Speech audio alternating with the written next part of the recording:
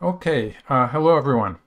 Uh, so just tell me if the sound sounds good, um, or if you hear me. so yeah, I'll get started now.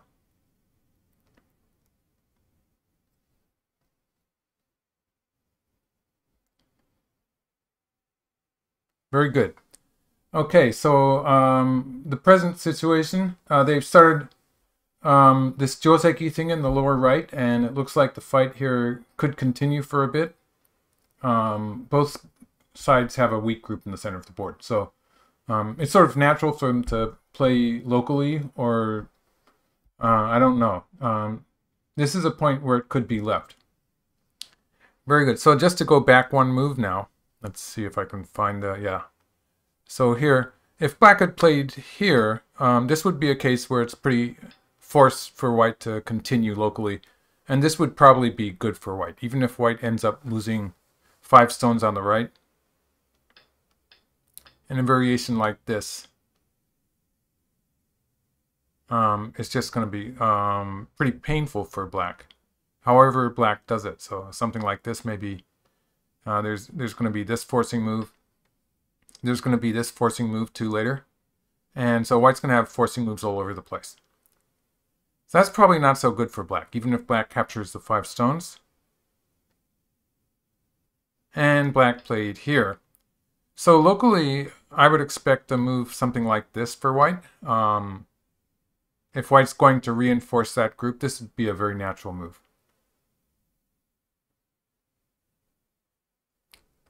Okay, so uh, let's go back to the beginning of the game and see how they started it.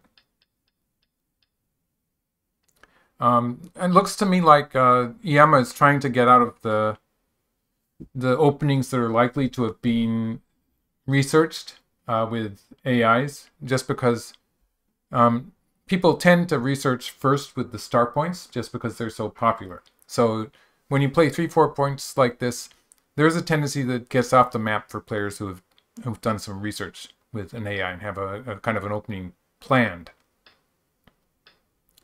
And when white presses here, uh, we all know that this is supposed to be a, a great move, pressing on the 5-4 point. Um, if black had simply answered with the, you might call it the old Joseki, the most common Joseki, this is, it's okay to play this one. Um, nothing wrong with it. White probably will play here, and you can see white's getting a big position on the lower side.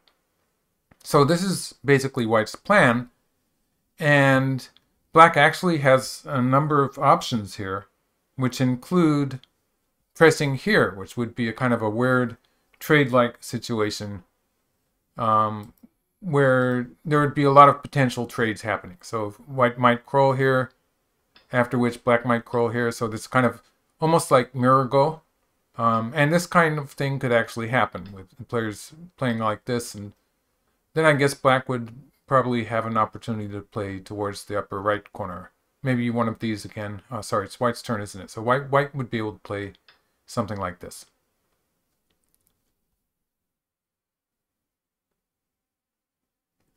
Okay, so so that's some another thing black could have done. And in the game, this move is an attempt. Kicking here is actually something that's done. It's an attempt to take Sente um, with a threat left behind. So first of all, if white plays straight down here, this exchange is supposedly a slight advantage for black, even if black reverts to the old Joseki. In this Joseki, let's go back there. Let's go back there. Yeah, so, so in this Joseki, if black rolls here, and it's like this, then and uh, later in the game, white will have options of playing here, or for instance, it's, it's not stuff that's going to happen immediately. I actually did a video about this Joseki. Uh, sometimes you can have white playing moves like this. This is actually one of the standard Joseki sequences where white gets to play the 3-3 point. So this 3-3 point is um, a very common thing that happens in the process of some of the basic Joseki sequences. And budget Bug, Bugcat Catbug is asking, is this kick a post spot idea?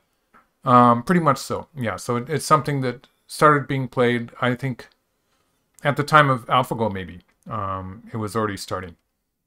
And it was helped by research with um, neural network systems. So since white 14 here in this diagram is a thing, it's, it's something that white is hoping to do at some point. Um, and there's various ways that it can happen.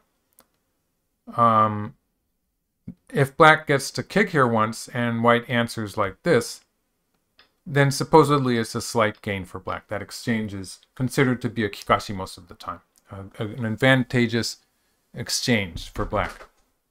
So that's the idea with the kick, and that's why white in the game is answering it with this. Um, the YouTube chat window is cut off at the bottom. Indeed it is. Um, let's see if I can fix that.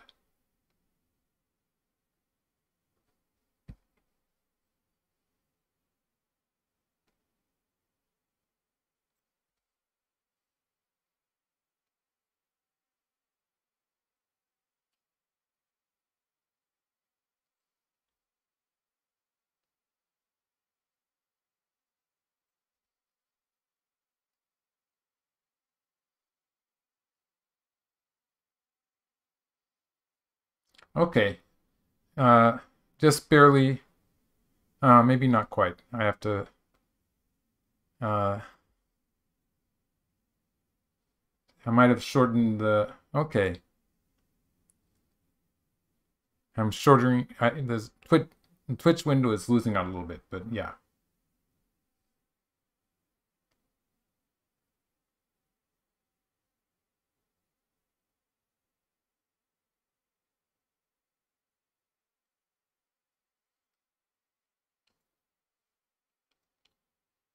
Okay, that's my, my, my best attempt. I'll leave it at that point.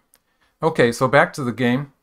Um, so what white is trying to do with this is that if black answers like this, then uh, white can take sente to cover the right side. So white's sort of playing both sides in this variation, and black will have to answer probably like this. So white's getting a very solid shape on both sides, or white can even leave it at this point to play this point, which is a pretty important point in the lower left corner. So this is what white's Hane on the second line is trying to do. And black counters by playing here, heating up the local situation. And this is actually kind of an established Joseki here, where white is getting a good position on the outside, but as we saw, um, as we saw, black is threatening to pull out with the one stone. So that's what um, the whole thing here is considered to be an even fight. Black did get to press here, and um, we get to see another way that white can answer that. That's another unusual move. Um, it would have been possible for white to play the kick, and that would have been, um, it could have turned into something similar even. So kicking was an option, uh, crawling was an option. If white had crawled, black probably would have escaped here anyway, because escaping here is a pretty important move. So in the game, white slided and black escaped. So what's happening with this is that if white extends here, uh, maybe black's going to push once, or maybe black's just going to play here. Um, so there's the extension here. And so that's the whole point of black's playing an Atari on the third line, was to leave this, uh, this extension uh, next. So maybe black's going to push here once uh, and then extend. So something like that. Black's group in the corner is pretty weak also. Or it might be this way. I'm not 100% sure. Um, black's group in the corner is going to be in trouble too, and white has the option of living by crawling a lot on the second line. So it, there is some there are some potential variations in which black's going to end up dying in the corner there, but white's going to be crawling on a on the second line a lot, and various bad things will happen on the way for white. So it it could be pretty close to even. And so white avoided that by playing a Hane, which is forcing. And then again, if white just simply... Uh, someone was asking, um, it's a bit far in the past, so I don't really remember, so sorry about that. But someone was asking what happened to that stone on the second line that white was, uh, where white was captured. Um, if white just connects here, black's going to extend here. And for the time being, um, you can see that those stones that white has on the side are under a bit of pressure. It sort of reverts to the variation that I was just showing you. So in order to avoid that, white played a more forceful move here, in which case white is threatening to um, to play something like this. This would put a lot more, this would virtually, it would kill the corner. So in this case, white would win the race to capture. And in the other case, or at least white would have a, a distinctive advantage. And in this case, even if we assume black some at some point gets to play these moves, this black group is not so strong. So if white crawls a couple of times, white should be able to, to win the, the race to capture. Um, with this sequence that probably comes up in one of my life and death problems, so um, that's something you can look for. Oh yes, Alvin P. That's a good question actually. It's it's sort of interesting that we have Iyama coming up at this point, but actually he is not the last player for Japan. So um, this player, this tournament, there's five players each. That's a good uh, a good cue for cue for me to be explaining this actually. So there's five players each country, uh, five for Japan, Korea, and um, China. And um, Japan and Korea have both lost two players. Um, in Japan's case, that's Shibano and Kyokagen. Shibano Toramaru and Kyokagen. And so Yama is coming up as the third player. Um, I'd say that Iyama is supposed to be the strongest player in Japan, so you might expect him to come as the last player. Um, but I think that the the issue here is probably his tournament schedule in Japan. So he, he happens to have some an open space here for this tournament. Well, some of the other players like Ichiriki uh, seem to be a bit more more busy. So that could be what's happening here. Um, Korea has three players left. The, the two Shins, Shin Jin-seo and Shin Min-jun. And uh, another player, let's see, I, I, it slips my mind. And Japan and China has four players if we include today's uh, Fan Tingyu. So they they still have Ke Jie. They have Mi, uh, Yuting. They have um, uh, uh, one of the Lees, the more famous Lee. Um, okay, so um, it's actually just uh, an early stage of the tournament. There's going to be 15 rounds, 14 rounds, 14 rounds. Um, and it, this is just the sixth round. So there's still plenty of games to be played. And all three countries um, have some have their top players left behind left, except that Iyama's already shown up, so he's a bit early. But I my guess is that it has to do with his tournament schedule. So this diagram I have on the board here is an example of how White's attachment, that's the marked move in the with the triangle on it, um, how it's working to put more pressure on Black's corner. So this would be a, a, a success for White, or it would be bad for Black, I might say. So that's how black was sort of forced to capture the one stone, and white got to connect at the fourth line there with Sente, and then protect. So this is protecting white's lower side.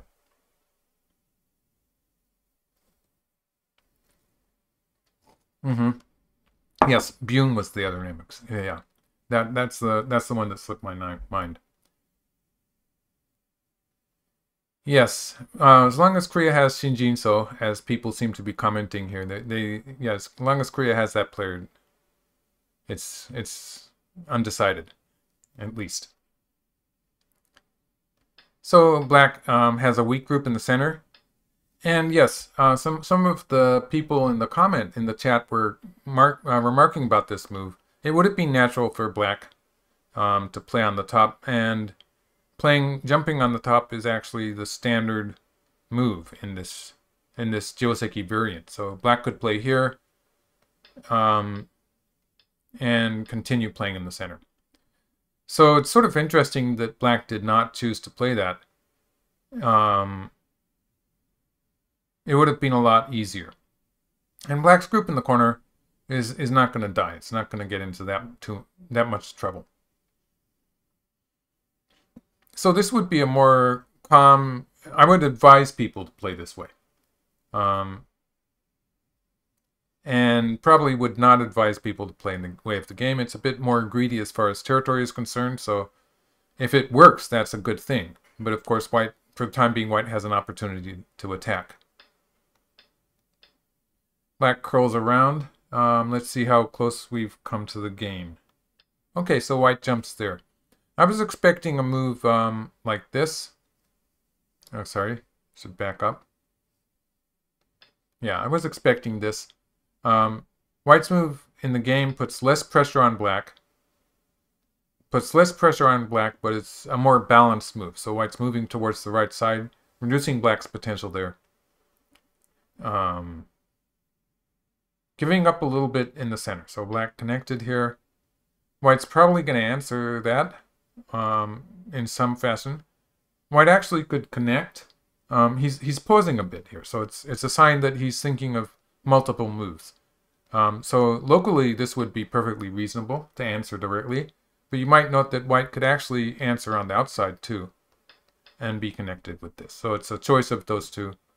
Uh, playing playing nothing at all, um, it would be a bit painful. So like if white played something like like this, um, it does look a bit painful when, when black plays there. If white plays this move, then black's going to be able to capture this stone.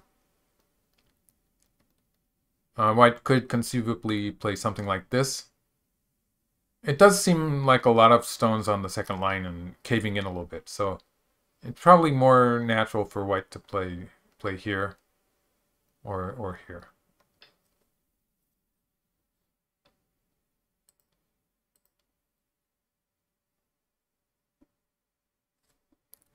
So I've caught up at this point. Okay, white connected.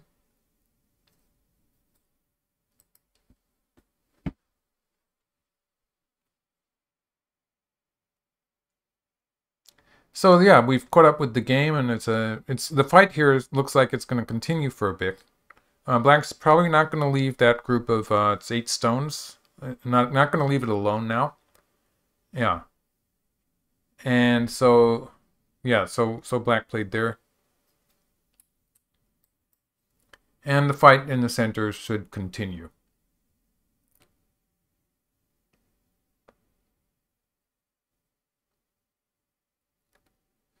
If we look at the territory, white's only territory is on the lower side, so white probably has about 15 points there to start with, and some a little bit in the lower left corner.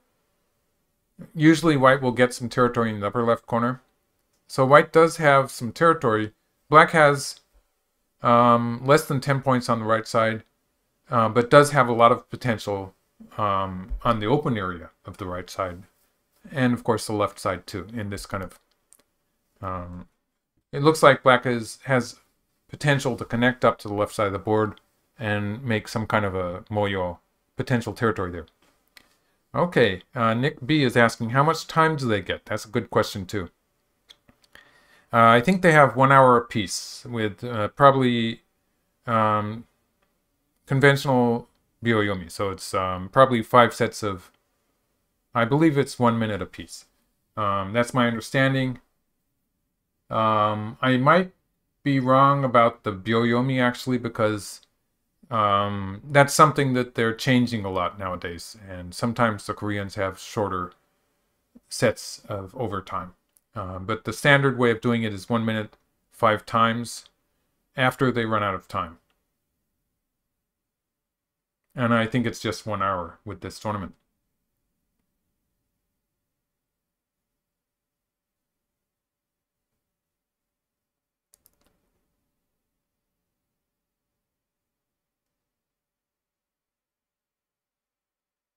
Okay, so uh, yesterday Yesterday, uh, let's see, I, um, Fan Tingyu had a very convincing win against Park, Park Junghwan. And so that was China versus Korea. Maybe we have time to do a short commentary of that. So I, I can um, make a diagram of that in on this board actually.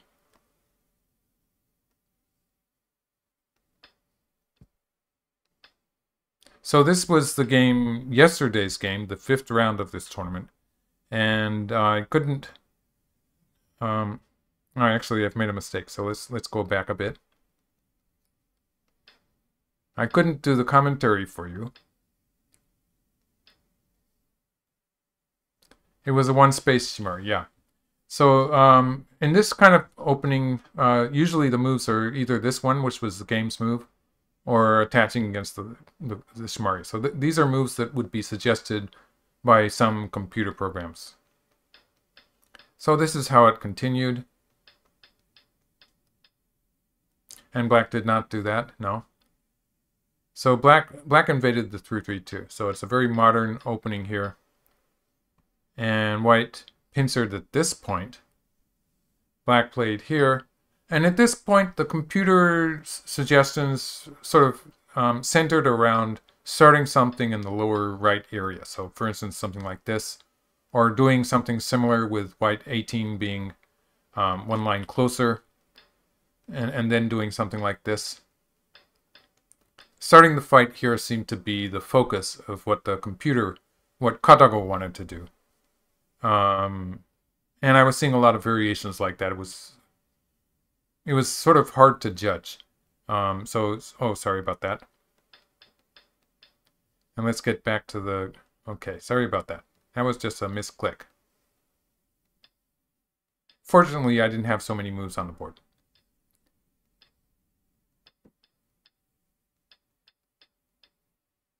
And so it continued like this. And white played on the left side here. Um, so this was already starting to look good for black if we look at the computer, um, the score. And um, when white started this, this is actually a very popular move that is supposed to be a computer, um, a com computer generated type of move. Um, but it didn't work very well in this position. So this is where the game started to go bad for white. And if white had extended here, it would have been more like something like this. This might have had more op um, more opportunities for white when compared to the game, um, where white would still be threatening to move out with these stones. So it would be something like that, um, a fight in the center of the board. Uh, but in the game, white cut here.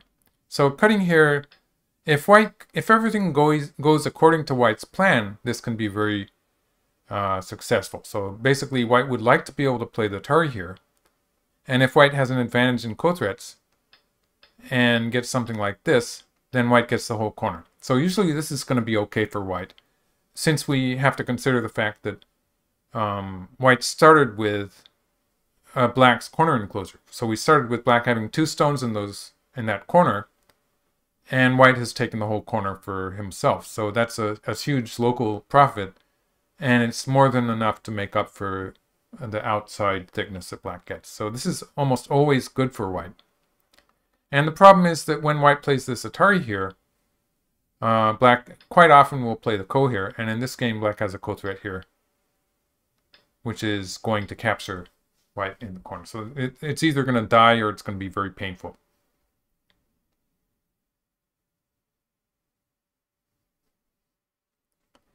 So, um, so white did not do that, and white played an Atari first. And again, if black plays like this, white is going to get the corner um, in, in some fashion. So this is, and black's probably going to play here. Um, I researched a variation, something like this. Uh, and this again would be, it would be okay for white with a lot of potential, a lot of aji on the outside there. So black had a very nice way of avoiding that by playing this move, which gives black a very good shape on the upper side, first of all. So uh, black has a great shape on the upper side now. And if white plays here, black's going to get a good shape on the right side too. So this is just going to be two strong black groups with a white group that's weak.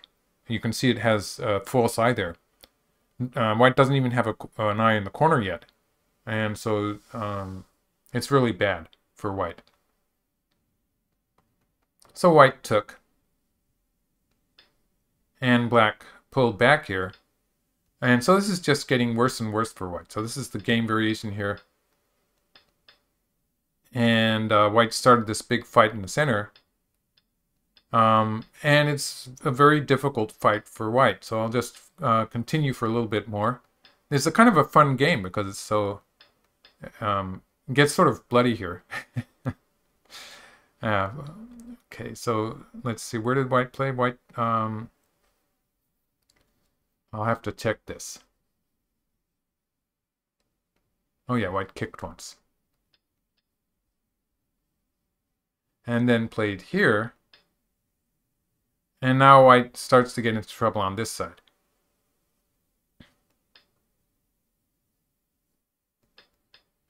Black's trying to attack white on a large scale here.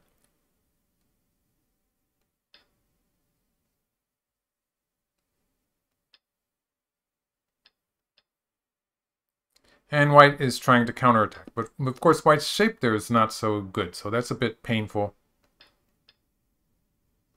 And then uh, black gets to squeeze like this, so this is fun.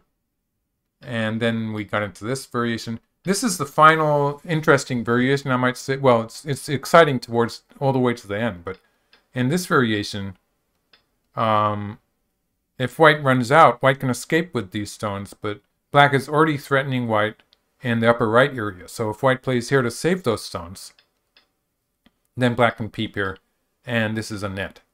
So it's it's going to be difficult, or I might say impossible for white to save those stones in the upper right at the same time as avoiding the net here. So, and if white plays on this side, uh, black can just go after these stones. This would probably be good enough for, for black and be a huge territory there in the upper right.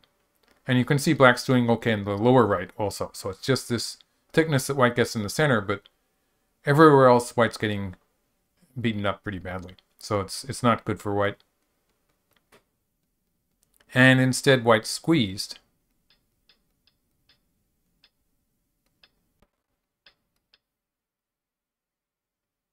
Yeah, I'm, I'm having trouble stopping here. Well, in the game, uh, black cut white here and um, everything got killed. Fortunately, the, the game is moving slowly, so we don't really have a lot of moves to catch up with in today's game. I might as well go ahead and show you some more moves. So this is the game variation. If white had played here, black would have been able to escape. Usually this is a captured position, but black can cut here, cut here, and connect underneath. So this was black's plan here. This would capture the four white stones and save black's group in the center by doing so. So that was the plan for black there. And when white played on this side, this stopped, uh, this enabled black to cut here. Because the problem that black had was that if black had cut immediately, it would have been a net like this. So that was why black wasn't doing that immediately. But instead started with this, and now black can cut here.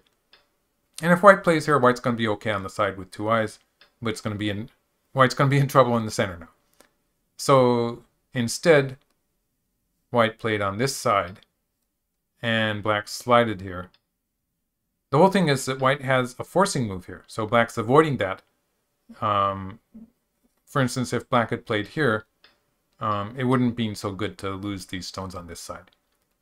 So black's avoiding that weakness, leaving the potential Atari here, but he doesn't have to play it yet, because if white plays here and then here, black's going to squeeze from this side, and white's going to have even less eyes.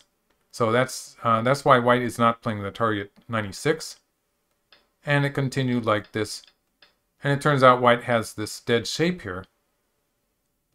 For instance, if it's like this, for instance, there's no way for white to make two eyes there.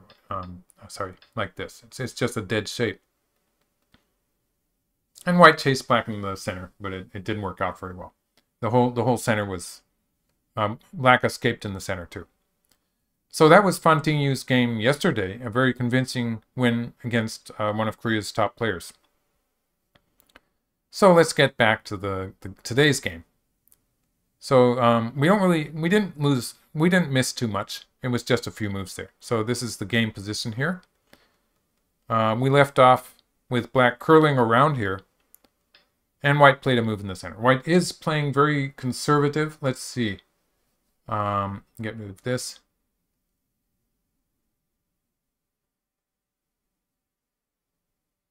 Hmm.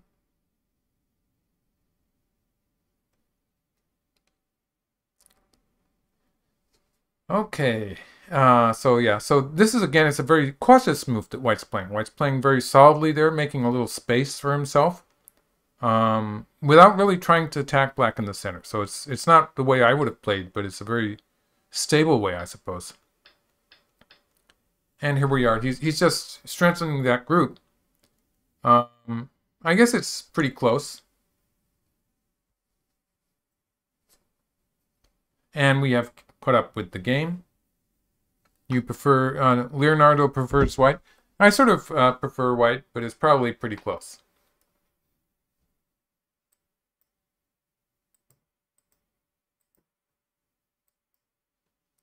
I mean, White's last two moves in the center, they were sort of on the defensive side. So they weren't very strong attacks against Black. And in this position, Black's going to be trying to, to make a kind of a moyo on the left half of the board now. The right side is it's probably not so attractive. Um, firstly, because Black's group on the right there, it's alive. So Black doesn't need to add stones to that group. So that's an important point.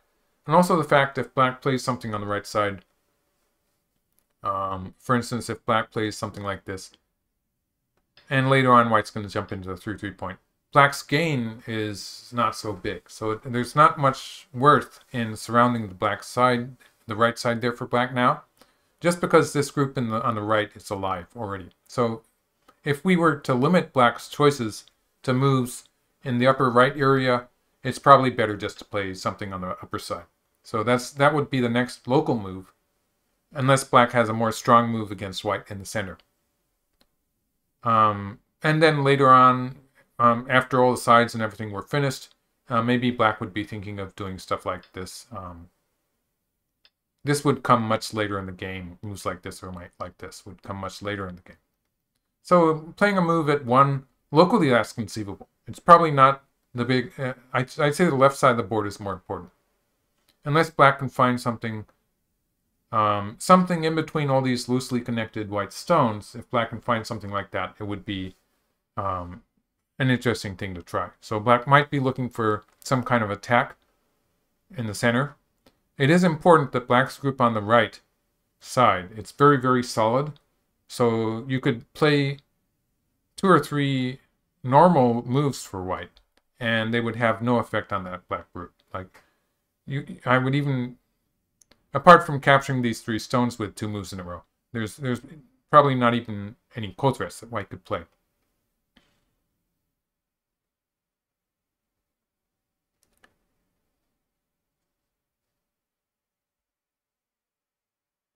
Okay, so um, Black's move.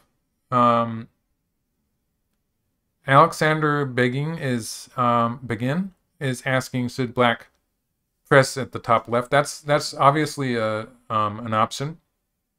Um, it's always a move that will it's a move that will always get good a good score from the computer. If you're using neural networks, if you're using something like Katago or even Leela, or there's some other computers that are stronger, some other programs. I think that Katago is probably the strongest that we have easy access to by putting it in our own computer. Um, it's going to suggest pressing in the upper left. It's, it's a very natural. So playing, um, so playing here. Very natural. Um, and it works with this opening in a human way also. So this is something that I would be considering. Playing something in the middle of the side. Um, playing something here is uh, just for normal moves, these are very natural unless black can find something uh, stronger against white's group on the right, because basically black five, it's it's not um, an imme immediate attack, so black might be looking for something stronger than that.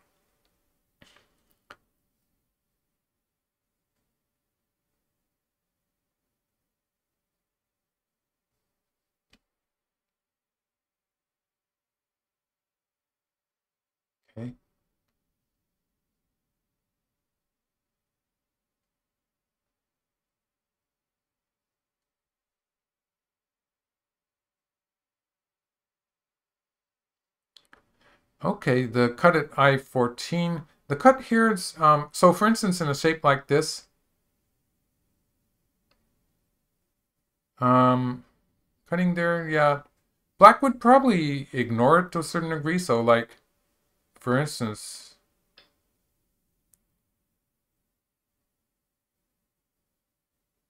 I would want to think in, in the, the way of moves like this.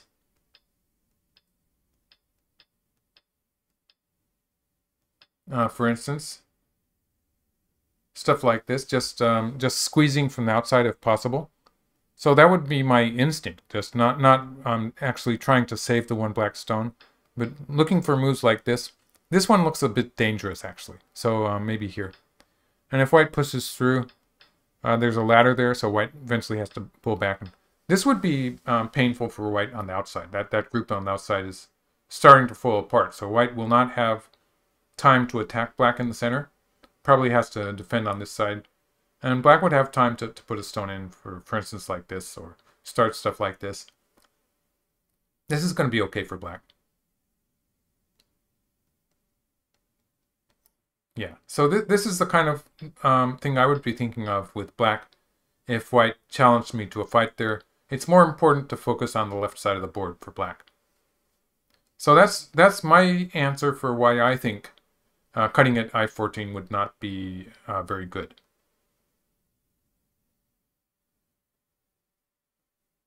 Okay, yes. So this is the exciting move. Um, sort of hesitating to suggest that. Um, hitting the weak point in White's connection. Smibro says hello. Hello, hello in, in Twitch. The elephant size, yes. So this is, um, White has two large knights moves to defend. So basically, if White um, answers something on the inside, that would be, uh, for instance, um, something like this. This is already a Kikashi, even if black plays something on the outside. This this might actually make the whole white group a bit more heavy, that exchange there.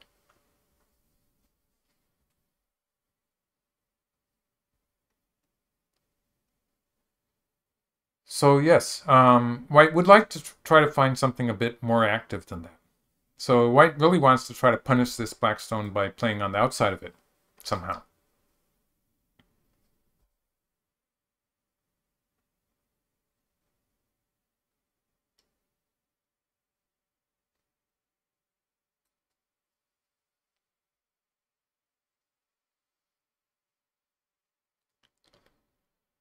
It's probably a bad idea for white to, to push somewhere. So if white pushes here, black's going to push through. Probably push through again.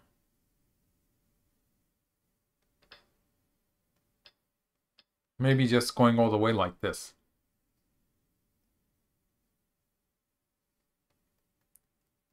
And if white pushes from the other side, black's going to push through here. You can see it's it's not a very good connection when this kind of thing starts to happen.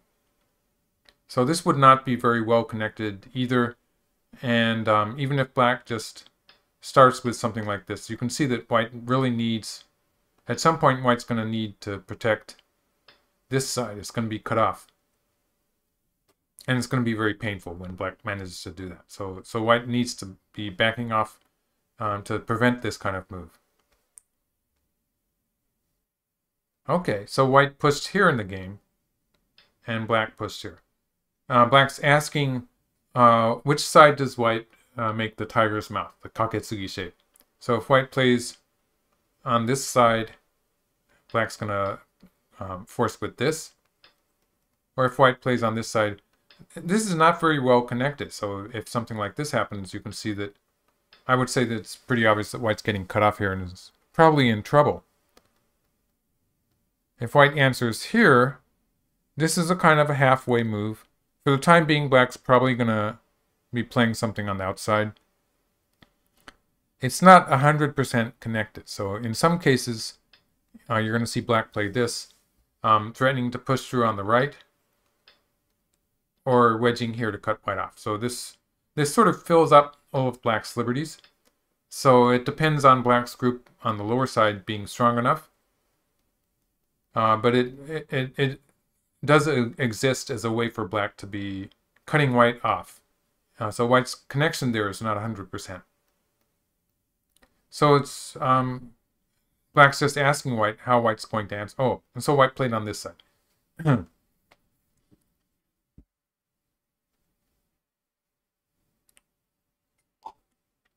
Chris Davis, yeah, that I think that's a good um, a good description of Iyama. He he likes his groups to be in trouble, you might say. He he likes to have his opponent trying to attack him uh, because um, he's very good at handling that kind of thing. So he likes to have an advantage in territory, and um, having the weak group is not something that bothers him as much as it does usually, for most people, that is. So that's what Chris Davis is meaning when he says that um, Iyama's good at shinogi. That's what shinogi is, uh, saving uh, groups that are in danger. So here white is putting pressure on the one black stone. If black extends here, um, black, that gives white a good flow of the stones, which makes connecting here sort of the only move that white has to think about. And that exchange of the marked white stone and black one is good for white. It's making the two black stones more vulnerable. So it, it means that black's going to have to deal with those two stones, and white gets an extra tempo at some point.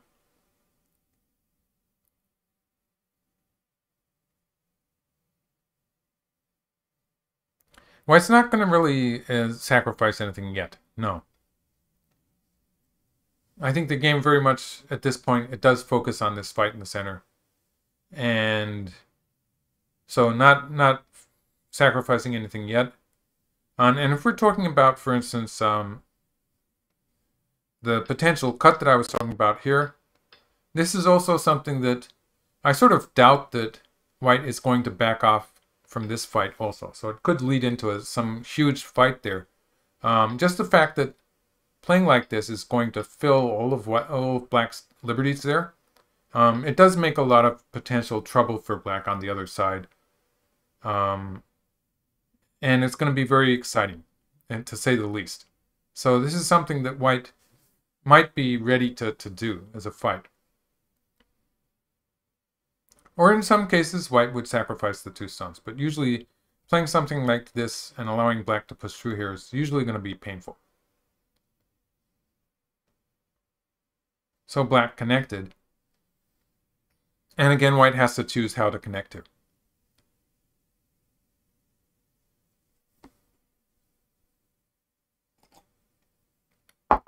Yes. So this is um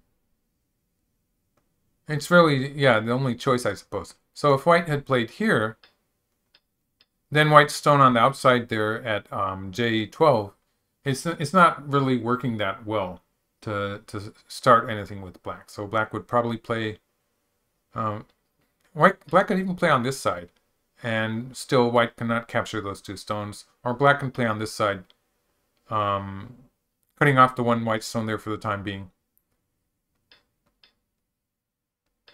And the strong position black has on the right side is, is coming into use here. So it, it gives black the opportunity to play a lot of moves on the outside. I think this looks good for black. But on the other hand, if white plays on the outside, which seems to work well with white's stone there, just the fact that it's not connected is probably uh, trouble. It's just trouble for white, I think. Uh, white can't capture the, the black group fast enough. Um, so white's group on the right is going to be in trouble. And so he connected in the middle. So for the time being, white's connected up, but we have to remember the stone there at 0, 011, it's not 100% connected. So I think this is working according to plan for black. The fact that black uh, played this move here, the attach, the, the kind of peep here, um, threatening all of the weaknesses the white had. And in this sequence here, black um, ends up playing this knight's move. So this is the move that black wanted to play anyway, as a kind of a shape. And um, black has heated up the local fight just because these two black stones are sort of in the way when white tries to do something there. So black's putting some pressure on white's group there and is going to try to use that the local pressure to help um, help himself build on the left side of the board. So black's ultimate plan here is to build something on the left side of the board. A moyo there, some territory if possible. So that's what black would like to do. I think if black gets the whole left side, it doesn't really matter what happens to those two stones in the center. So my instinct would be to, to just play on the left here, maybe this one, and continue building on the left side. It's not as if it's guaranteed to become territory yet, but it looks big. Uh, Chris Davis is asking uh, about the next few days. I think that um, there's a few more uh, games uh, coming up. Um, I can't do it tomorrow, but I probably will be able to do it the day after. So um, that's going to be round eight, I believe. Yes. So I'll, I'll probably do, do it on Monday. Um, it's a, a Saturday here for me. So um, in two days, I plan to be back with the. It'll be interesting to see, see who the players are at that point.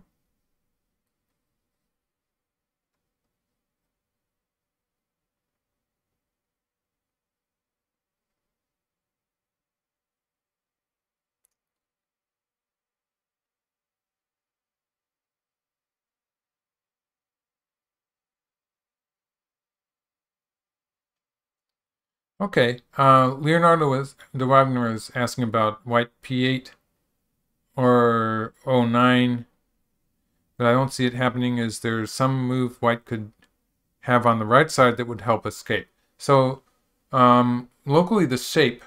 Uh, let's just say black plays something like this, like this.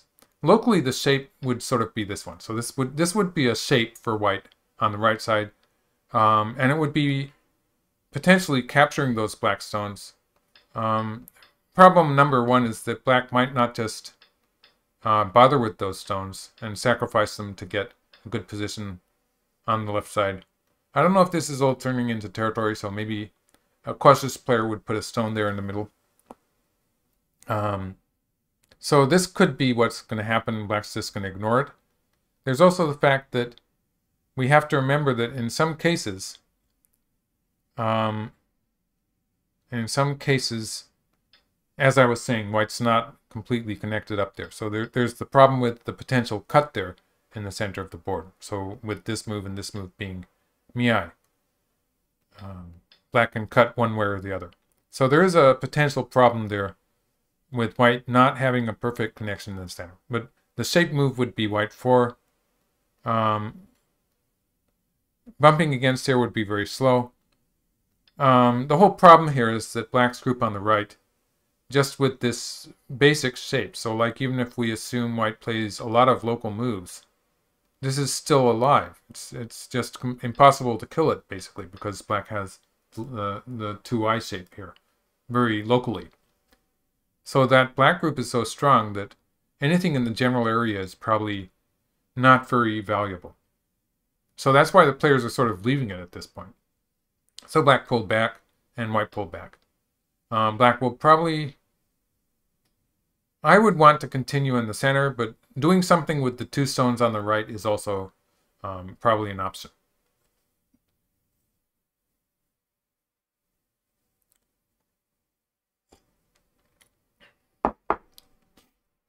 Hmm. Little Sloth is asking, how much do pro players at this level prepare for each other's games? Um, well, um, even at my level, there's a lot of general preparation for, for instance, openings that I want to do, or um,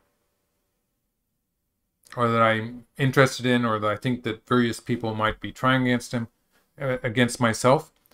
So there's this kind of general pre preparation that is not particularly um, about some particular person. Um, but then there's um, in matches like this when the players know beforehand who, who they're going to be playing. So, for instance, Iyama knew a few days ago at least, well, he knew yesterday that it was going to be uh, Fan uh, Tingyu. And of course, just at the beginning of the tournament, he would know that that was one of the potential opponents. So um, there could be some more particular preparation um, in my case, I don't do that much. It's just because um, so much is centered around um, research with computer programs nowadays that um, the first few moves, there's not so much uh, variance. They usually play star points and um, or a combination of star points and three, four points.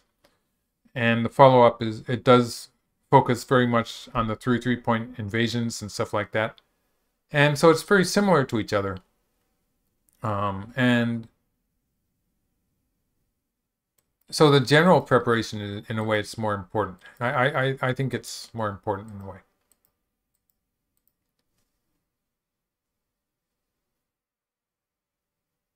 But you can see in this game, I think the point uh, I would make with according that has to do with that is the way that EMS started by playing two, three, four points here, sort of taking it off the map of uh, what most players would study for common openings. They would be focusing more on the blacks on black's ideas with playing a star point and a three, four point and what black was going to do if white had played two star points, which is the most common way for white to handle that. And so when white plays this way, the fact that these are three four points, it's going to change everything. Um, in particular, it takes away the three three point invasions from black, so it's a lot more potential territory that white has, and it changes the whole opening. So it potentially it's taking it off the map for black um, if Black had a game game plan based, based from preparation, you might say.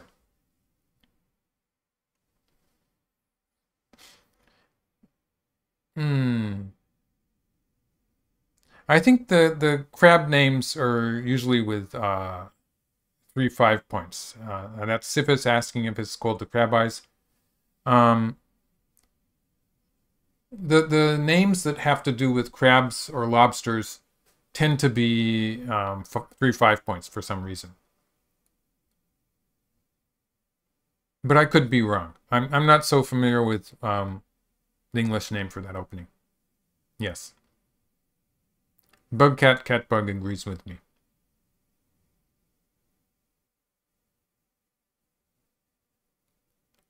So Black has continued with the right side. I'm not really surprised by that. He's continued with the right side um, putting pressure on the whole white group. So white's group has only um, doesn't have any eyes really, and is floating in the center. Uh, we'll have some opportunities to move to the left side of the board, um, but the problem was that if even if black had played, um, if black had continued like this, and sort of given up those two stones, then um, if white manages to reduce the side somehow, and, and it's going to be difficult for black to kill this group. If white just lives in the center there, then it's not really gained very much. So it's kind of a gamble here for black when black is trying to get the whole left side, um, but it might not be realistic to expect the whole side to become black's territory. So it's a, in a way taking away white's eyes here. It's a more um, a more active move. It's more tenacious, kind of an attack. And um, black's going to be able to settle for a slightly smaller area on the left because black is not giving white any territory or eyes. So that that's the whole idea here.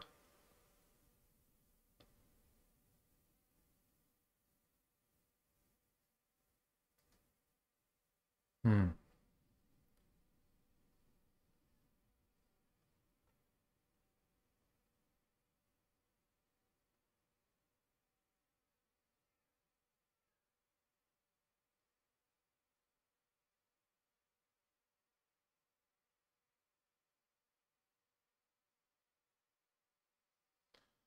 Yes, talking of odds, um, that's Alexander Begging, Begging, Begin.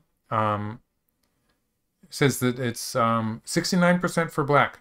So, um, but we have seen Yuta win with worse odds. The yesterday I was watching, was it yes? No, it was a few days ago.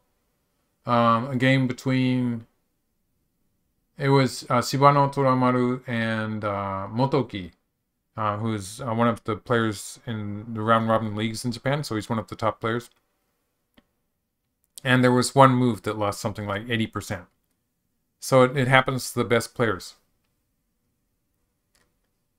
Okay, so White did play this move in the center. And black is starting with the press in upper upper left. That's a move that's probably always it's always safe to play.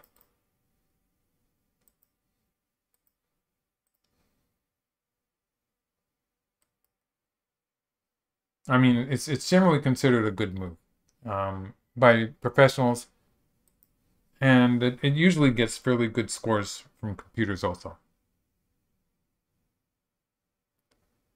Okay. Um, in Twitch, Vertigo Vertigo Royal is asking, is Go one of those games where you have to start young to get good? And it depends. Um, so, like if you're talking about becoming a top pro in, uh, or a world champion or something like that, um, I'd probably say yes to that. And so you probably have to start.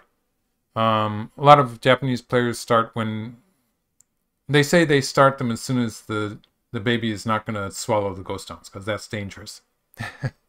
so, provided the ba- baby isn't putting the stones in his mouth, it's it's okay to start him playing. Um, so they start very young um, in Japan and China, Korea, and um, fairly soon the child will know if he wants to become a pro or not. Um, I learned the game at the age of 11, or 10 or 11, I don't really remember. And compared to the students in Japan, that was very late. And the same is true, of course, of Korea and China. I'm just using Japan as an example because I'm more familiar with the Japanese setup. Um,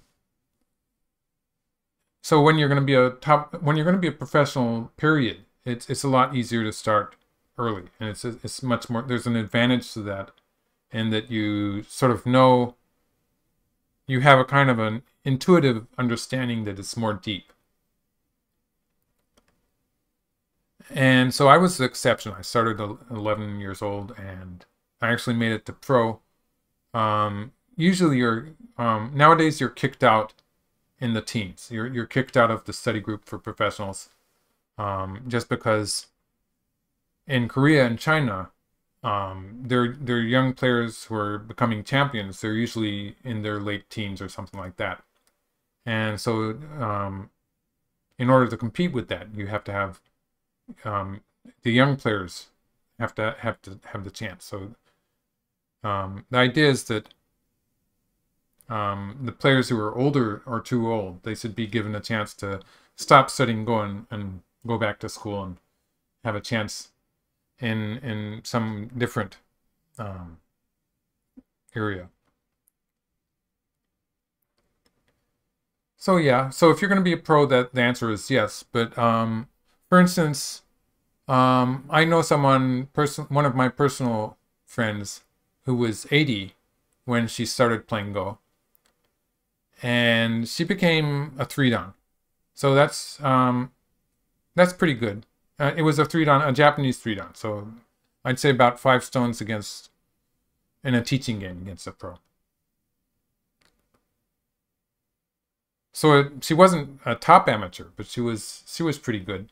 So if um, you're talking about understanding and enjoying the game, and um, it is, I'd say a three dan is at a level a level where that person is already can can enjoy watching top professional games um, with a fairly deep understanding of what what they're trying to do at least. Although maybe not the calculation skills, but something close to that.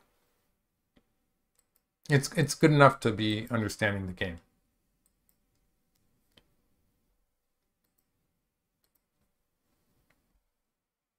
So yeah, if you're if you're just going to enjoy the game, um, have it as a hobby. Uh, I don't think the age, your age, really makes a difference. It, it really depends on how much time, um, how involved you're ready to get. Okay, um, where would I recommend a beginner to go learn? Um, on my YouTube channel, I have a whole playlist of uh, videos um, for beginners. So I um, I start with the rules, but it goes on to basic shapes and some general ideas. Um, just playing is probably the best thing for you to do. So um, if you're a beginner, if you if you've learned the rules, um, you should try to find people to to help you. There's there's a lot of double uh, queues playing on the net. So you could find people to play uh, correspondence games with you. For instance, on OGS is a place which I would suggest. Uh, that's the online Go server, in case you haven't heard of it.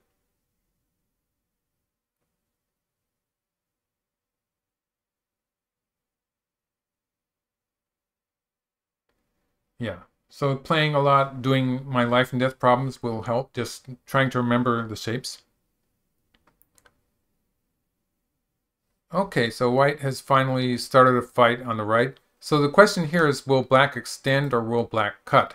So uh, the center area is starting to get fairly big.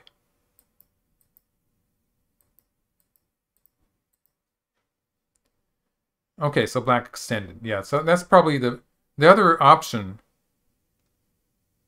Oops. That was that was not intended. The other option is to play here. And for instance, um, if black just does something like this, black can capture these stones. Um, but it's probably not so big. That's just the, the six stones there. And white's going to have some territory in the center of the board. So in this case, uh, black would probably continue with... So it's the ko here. Um, sort of hard to judge. White can still save these six stones. And the, the situation in the center is a ko, which if white wins, white's going to capture some black stones in the center. So it's, it's an even fight there. So instead of doing that, black extended in the game. And uh, even if white connects, uh, white did connect, yeah. Um, black's group on the right, just because it's so strong, black doesn't have to worry about that group and can leave it pretty much indefinitely. So black's going to continue um, strengthening that bamboo joint there in the center of the board. And you can see that black's position on the left side is starting to it's starting to look like it could become a black territory. So that's that side of the board is sort of working for black. Uh, and the right side, black can handle this move that white's just played because black's side group is strong. So black will probably, oh, black played on, this, this was a bit, um, that was a big move. But um, I thought black might have continued with the bamboo joint. But this is a big move also. I mean, I was expecting black might continue with a move close to the bamboo joint.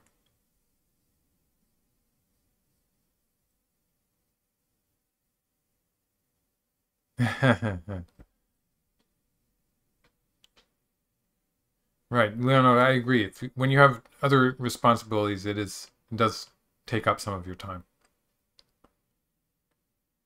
Um, jumping here, it's a it's a big move. It makes a line there. Um, you might have trouble killing white if white invaded, for instance, somewhere around here.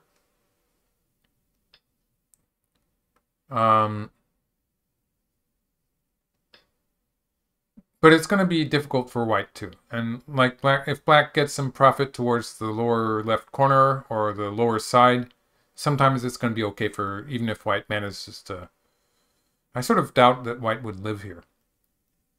And if, if we're talking about thinness in this direction, uh, this is probably something that black can handle, even locally just answering here. Probably not a big deal.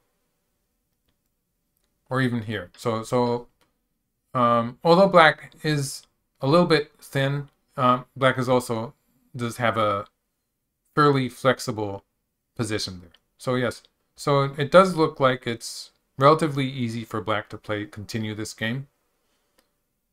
And if white tries to attack black on the right side, it's just the fact that black's so strong on the right there. So if white does stuff like this, um, even if black just curls around,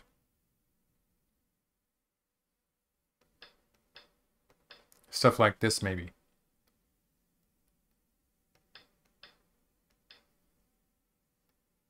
Maybe this way. Um, the fact that black's group in the lower right corner is so strong, it makes it relatively easy for black to handle white's attack. And, and so in this variation, white would be gaining some points towards the corner, but would be getting into some trouble in the center of the board.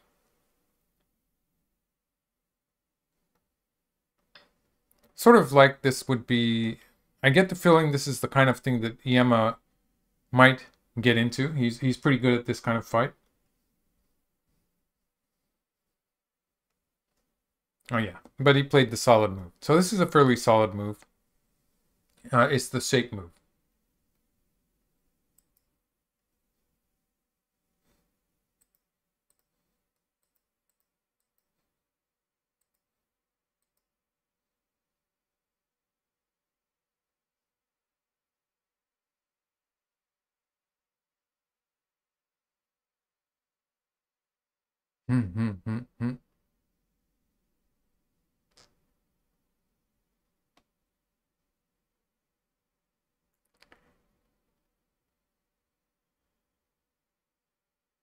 Okay, uh, Vertigo Royal is asking, uh, would you evaluate a position at this stage of the game by feel or some kind of counting method? So you can do uh, one or the other, and positions um, favor counting in some cases and do not favor counting in other cases. So for instance, if we look at white's lower side, this is an area which is relatively um, easy to count. So I would um, just looking at these stones that white has at um, at J15 and J16, and I would draw a straight line down to the bottom of the board and say that that was the minimal borderline of white's territory. I'm going to expect white's territory to be somewhere around this line, to say the least.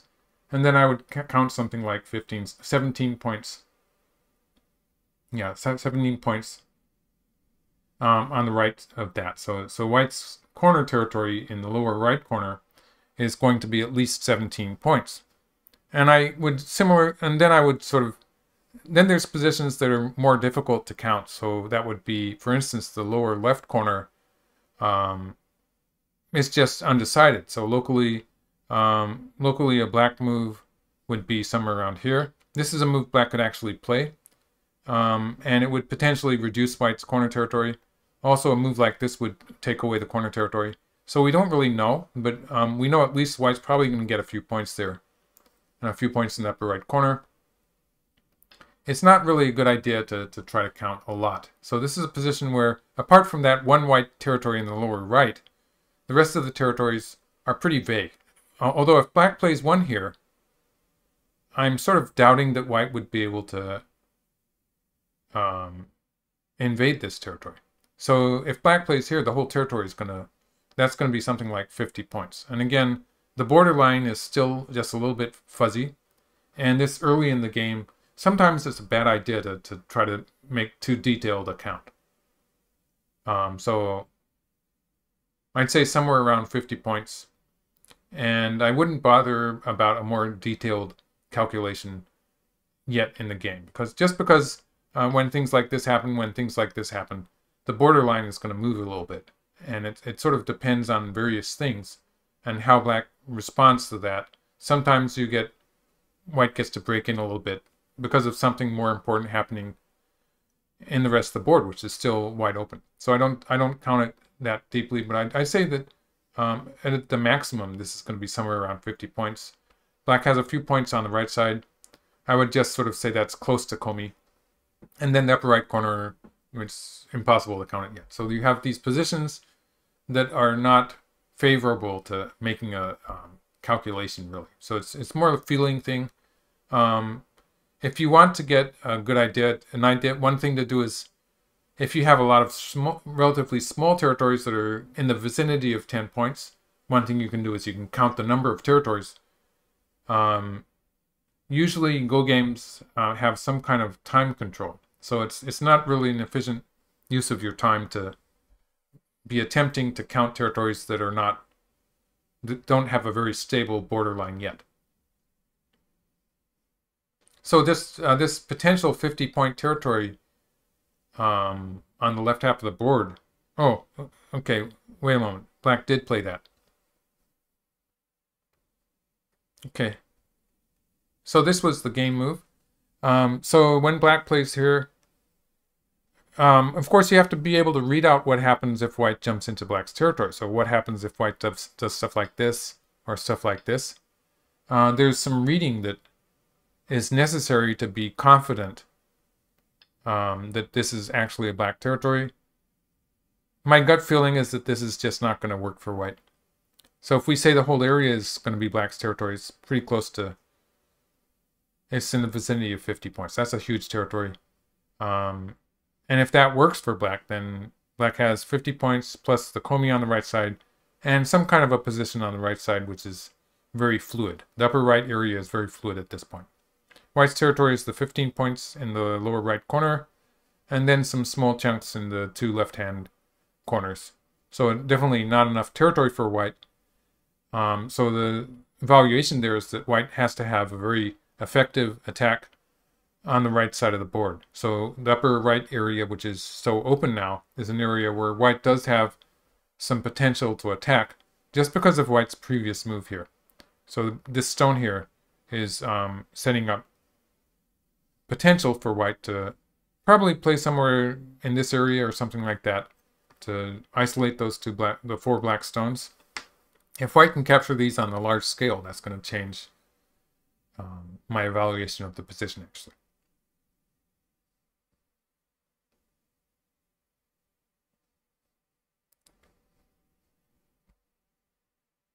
Exactly. Yes, that that's a good a big thing in Go. Actually, one of the reasons that uh, neural networks are so strong is because um, it turns out their positional judgment is very good. So they their positional judgment and their judgment of who is ahead, um, although it's it doesn't really match with the human feeling for the game because like in a position like this when the computer's oh, Alexander's just given it to me here. Um, 82% for black. Um, according to the Nihon Ki-in channel, I'm not surprised. Um, it looks like something like that. Um, just one slack move or one slight mistake um, would change that. It would make it a close game. So it's for the human players. Um, we don't get the feeling that it's 80% won. It's, it's a it's there's a lot more distance between this position and actually winning the game.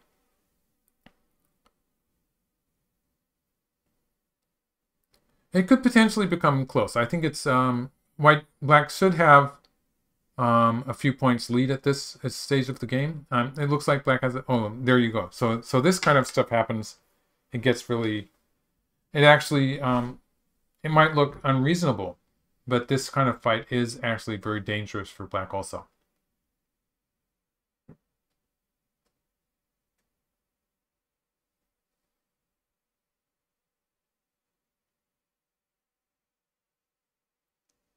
So yeah, so that's there's that evaluation of the size of the territories, which I was, was what I was talking about there. But then when something like this happens, you have to be able to read out the you have to calculate um, whether you can kill this white group or kill it without giving up anything on the outside. This black's move is is the most strong move locally, um, where black is refusing to give white any forcing moves from the upper right area. So from it's basically black's trying to capture it from what is relatively the outside. Okay, Little Sloth says, it's late here. Um, Let's see. At this time of day, it's probably late in the Americas, so maybe that's where Little Sloth is. And was about to go to bed. Okay. Well, um, it's a relatively short time limit, so we might get um, get through this game in a couple more hours, I'd say. An hour or so. Actually, the, the players could be running short on time already. Let's see, it's almost, um, it's 3.30 here. So we're one hour and a half into the game already. It, it went by pretty quickly for me.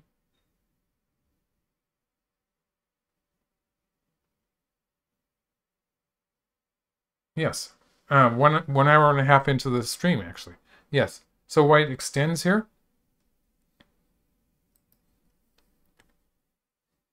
And just the fact that black's knights moved there in the lower left corner, it's not so solid, so black needs to worry about that a little bit.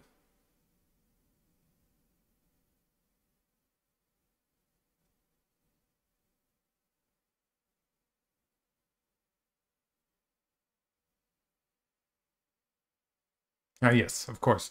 Um, but yes, the point is that when they only have one hour apiece, Leonardo was saying that the, this is where the players start using their time up.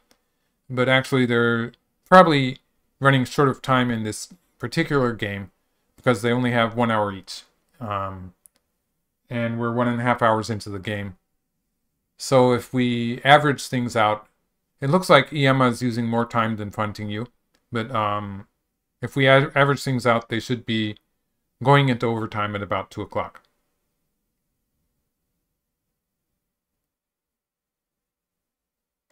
Yes. Um, I wouldn't make a, a problem like this. It's too too difficult.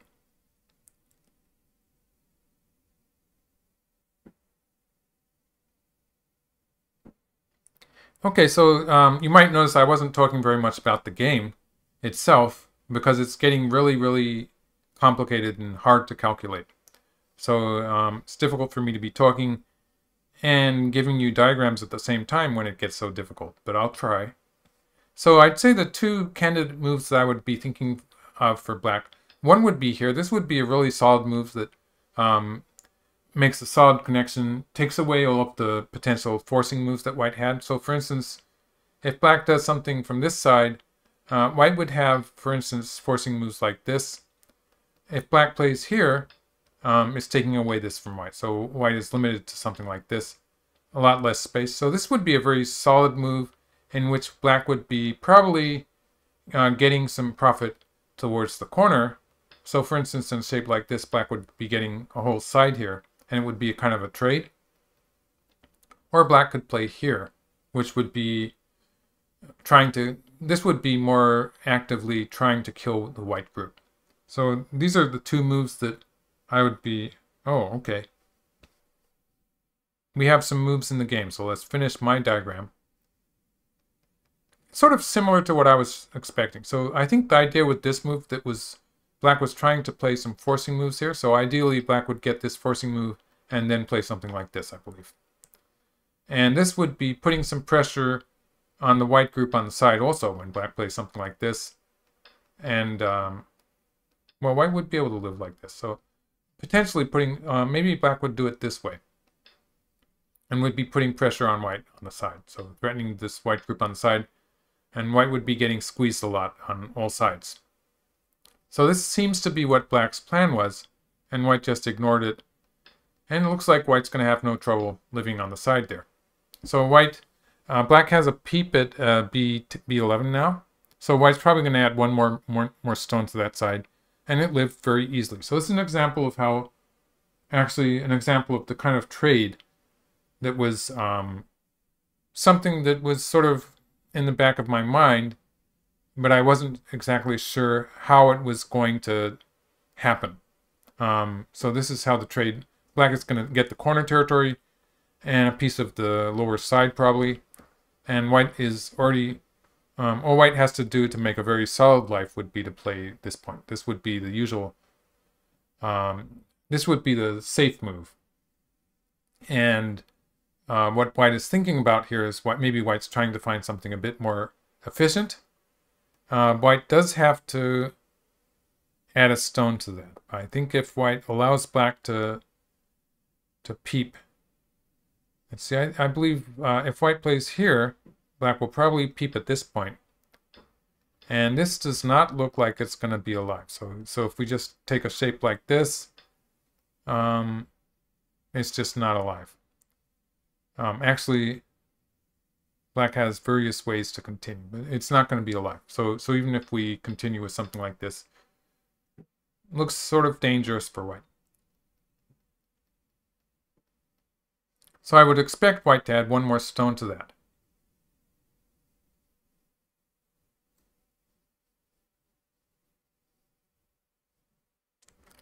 A way to play is that's that's funny. I'm not afraid of people invading my moyo. I'm afraid of people invading my territory. And yeah, sometimes you think it's your territory.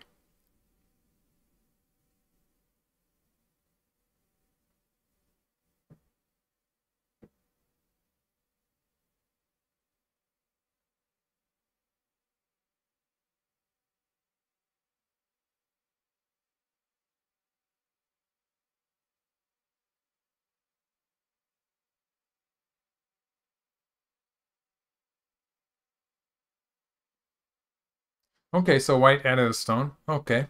So I, I got it right, I guess. And black is probably going to add a stone to the lower side. That looks like it's a pretty big move.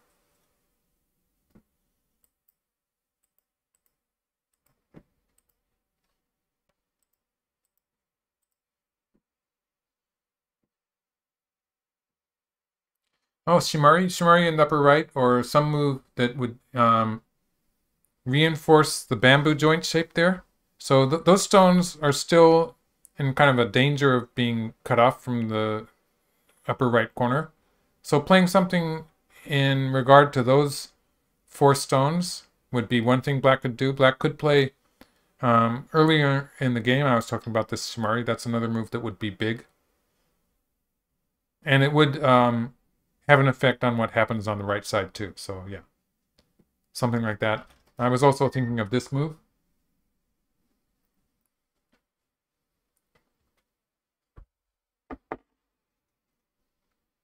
Okay.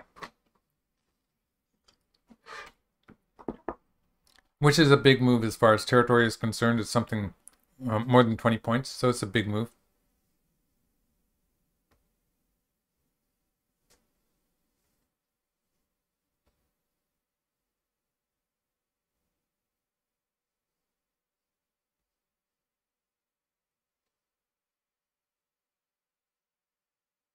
Okay, and that was a really safe, safe type of move.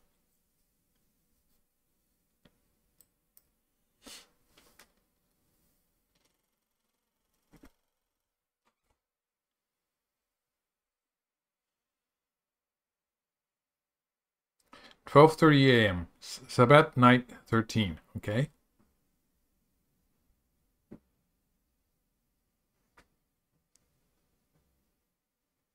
That's a late night.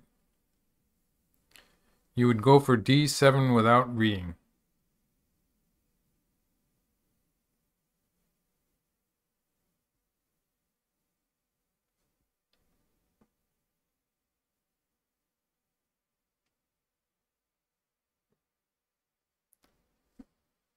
Okay, so white kicks. Um, this is... Black's going to answer that locally. Maybe the hane underneath.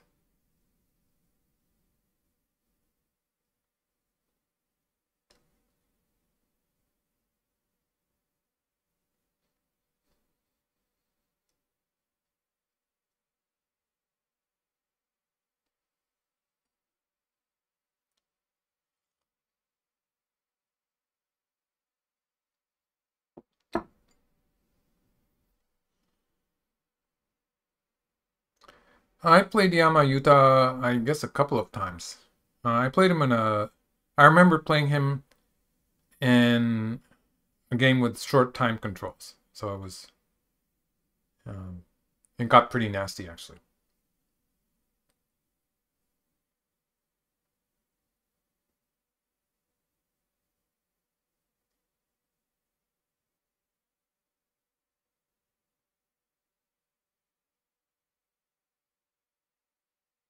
Yes, yes.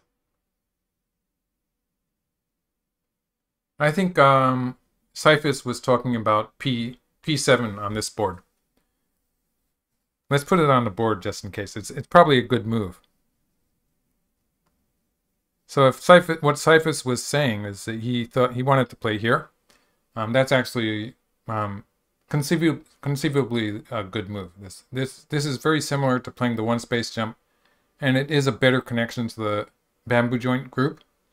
So it's um, something that black could have played. But with this move, even if white um, plays here, black has a kind of a forcing move here, which is going to connect up to the side. So it's not as if black is going to be in trouble.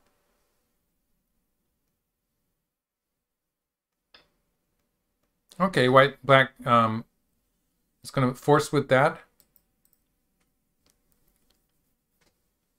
So at this point, uh, we're looking at the territory, and also we're looking at the fact that White's group in the center is not settled yet.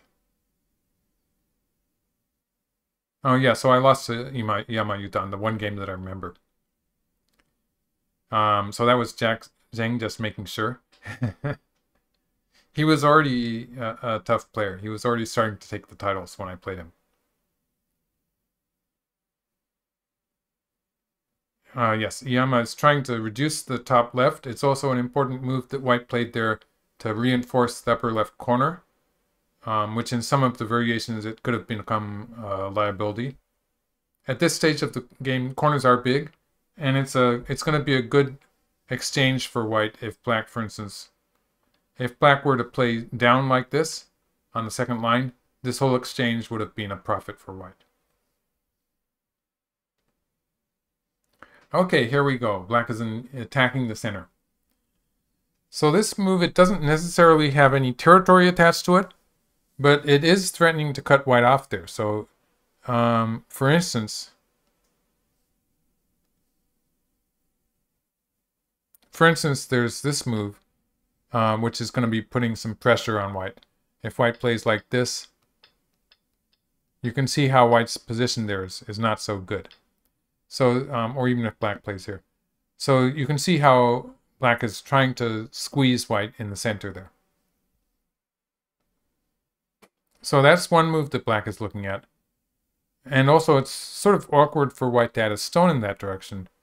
Um, just because even if black plays here, the whole white group there, it's it's just connected. Actually, black will probably have to I should I should revise that and say black's gonna play here.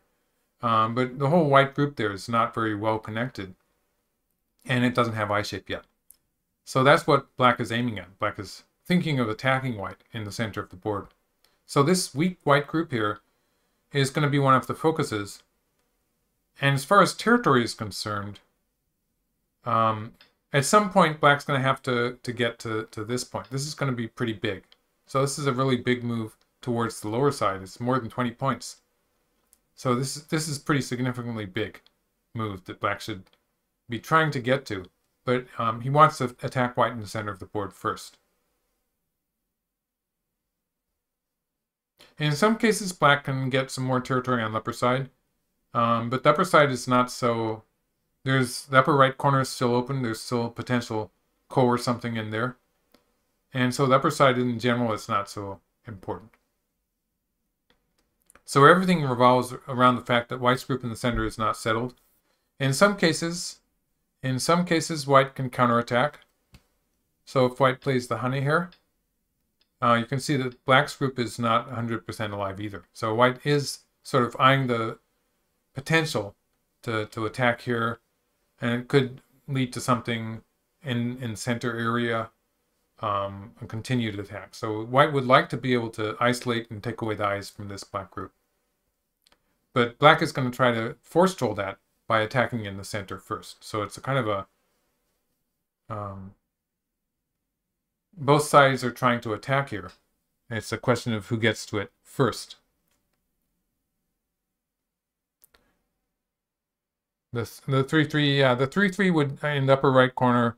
Looking at it locally, it's probably going to be something like a ko, or it could even if we assume the rest of the board was settled, it would be a position where white could uh, play there to make a living shape. It's just the fact that um, it all connects up with the weak white group in the center of the board. Sometimes white won't have the opportunity to, to live like that.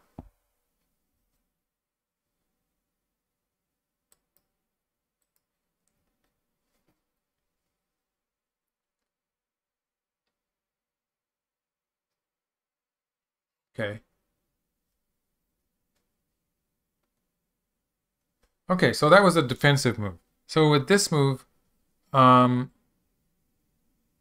I would say that black is, in most cases, black is going to be alive on the left side. So what I mean when I say that is, um, so we can assume that in some cases white will be able to play this forcing move. So if we have this exchange and we have white play here, Now, if it's it was if it was like this, if it was this shape, then it would not be alive. It would not be enough room.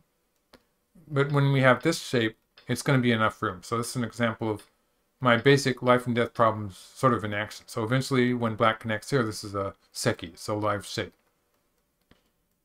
Or if white plays here like this. So this is a shape where black can live locally.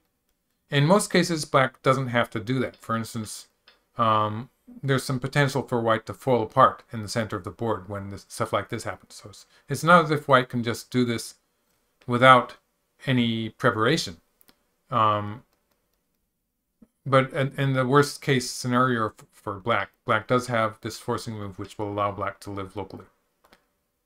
Um, so there's there's all these problems which you sh should recognize if you're um, so like this one, if we make it into a life and death problem, this is how white kills this group. it depends on everything in the area being very strong for white. So in, in a life and death problem, uh, white would be solidly surrounding that black group so as to avoid moves like this being forcing and stuff like that. All this stuff, you just know it. If you do the basic problems, then you sort of develop the pattern recognition uh, that gives you that knowledge. So we can say the black group is pretty solidly alive there. Um, and white left it. So white's not defending the center. Looks like white is hoping to scoop out the upper right corner. Oh yeah, so since white did that, let's talk about some variations. Let's talk about some variations in the corner. For instance, um, one way that this could have become a ko would be white playing the hanging connection here, and black, um, and this could potentially lead to a ko there in the corner. If black just plays like this, white will have enough room to live. Or if black plays here, I mean, if black plays here, white has enough room to live. Uh, for instance, if white plays like this, or white could leave it and hope for a ko later in the game. So that's one thing. There's also the fact that if white plays here, in this kind of board position, white has a jump here, which is significantly improving white's position there. So if we assume black plays like this, usually in this shape, it's going to be difficult for black to kill the white group, even um, white has two ways to play. But um, basically when black does this and tries to kill the white group, black has all these weaknesses all over the place. Usually it's going to fall apart. So it depends on your reading out that variation, but usually it's not reasonable for black to try to kill. And you can often see black playing something like this and white adding a stone here. So kind of a typical variation there. So that's some examples of how white could have used the 3-3 point in an endgame situation. I think in this game board, the game position here, um, there's the fact that the upper side is more wide open. So white will be happy with a variation where white ends up, okay, didn't happen. So um, white would be more happen, happy with a variation where white ends up playing a number of moves on the upper side. So for instance, something like uh, this even um, where that black stone would be sort of isolated and white would be starting to make a territory on the upper side. So something like this. There is the fact that um, if it gets really wild, so for instance something like this, we can see potentially black's going to get in trouble with that bamboo joint that can be sort of isolated in the center of the board. So for instance with something like this, um, white would have um, sort of artificial variation there, but you can see how in some cases white would have potential to surround that bamboo joint. And that would be really big. So um, you can see how the local position here is a bit more volatile. And that would be why white is playing the attachment here instead of the 3-3 invasion. So that, that's my explanation of why white plays that way. And when black plays on the outside, there's two local moves that you see. Um, there's this one, and there's the, the game move, which was this one. So if white plays this way, in this board position, black would just be aiming to allow white to live on a small scale. So maybe something like this would be working, um, where a, a standard Joseki variant would be white playing like this and living. Um, white could crawl on the side, um, or could jump or could play an attachment here. Um, this would be something like this. Um, you can see how black's getting something on the side, and actually with a strong position towards the center, black would still have some potential to attack white's group in the center. So one thing I'm talking about here is that when black plays moves like this, um, it can be a bit tricky for white to, to connect everything up in the center of the board, even if black plays very yeah, something like this. You can see that uh, I, I, I can sort of see white getting cut off in some of the cases. And white doesn't really have very good eye space for the whole group here. So getting cut off would be a, a big problem for white. So if white had played on the second line like that, black's idea would general idea is that I think black would try to make a strong position towards the center while allowing white to live. So white plays towards this side. Um, yeah. And so if black had... yeah. Black could have played this way. I'm not exactly sure how white would have continued this. Um, in this, usually you see white playing an Atari from the second line, but in this case, you might it might be this one. Um, so white's trying to use the, the cut there to live in the corner. And black connected. Um, if white connects in the corner, it's not going to die, but it is a bit cramped and black has really good shape on the outside. So that's um, basically white had a choice of the attachment played in the game, which is this move. Or another good shape move would be extending or playing something like this towards the side. Um, but it looks to me like, since the right side was sort of open anyway, I think black would probably just be satisfied to, to get a good position in the corner.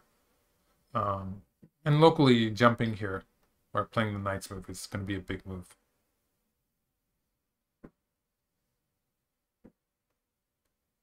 So white attached, that's a stronger move. And the fact that, again, um, if black had played something like this, in the corner. A sort of Joseki-like move would be to play here. Uh, but in this board position, we can see it sort of linking up to the volatile, volatile position on the side. The problem that black potentially has on the side, and white would not immediately save the cornerstones because black doesn't really have, have the time to go after them. In this variation, white would be capturing black in the center of the board.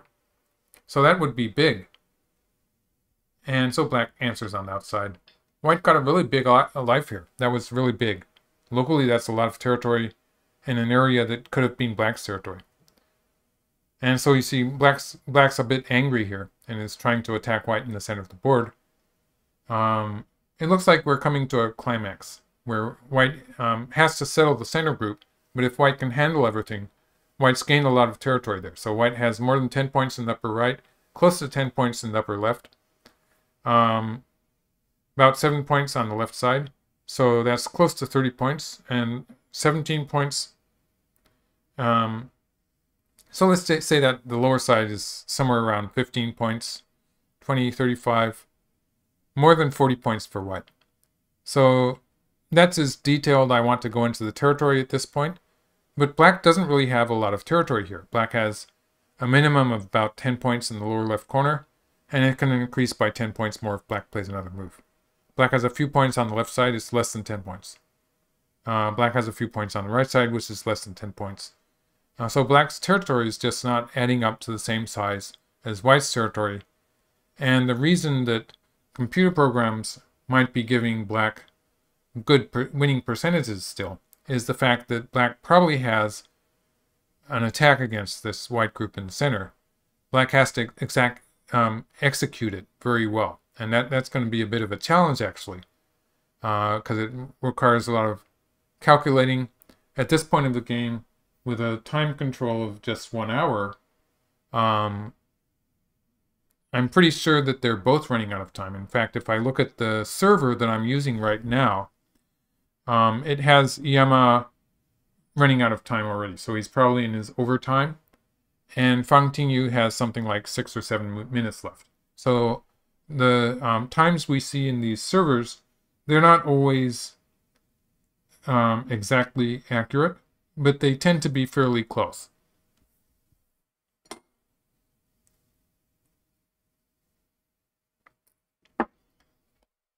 So a lot depends on um, how white can handle this weak group in the center of the board.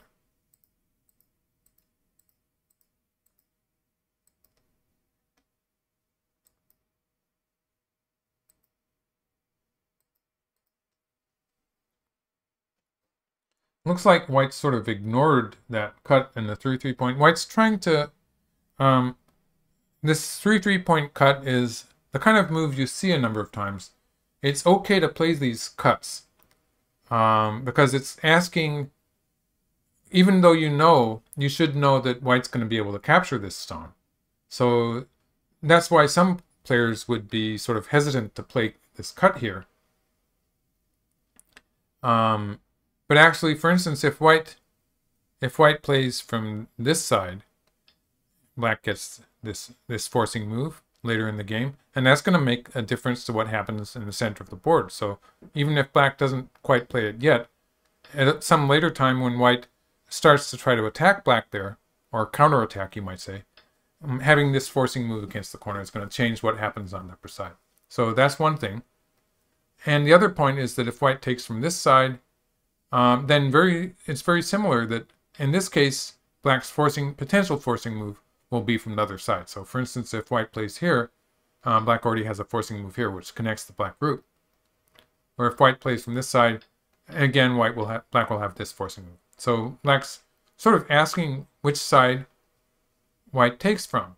Because when black plays this move, the most, the good aji move, the simplest way to capture it is this way, which immediately is kind of a ladder-like shape.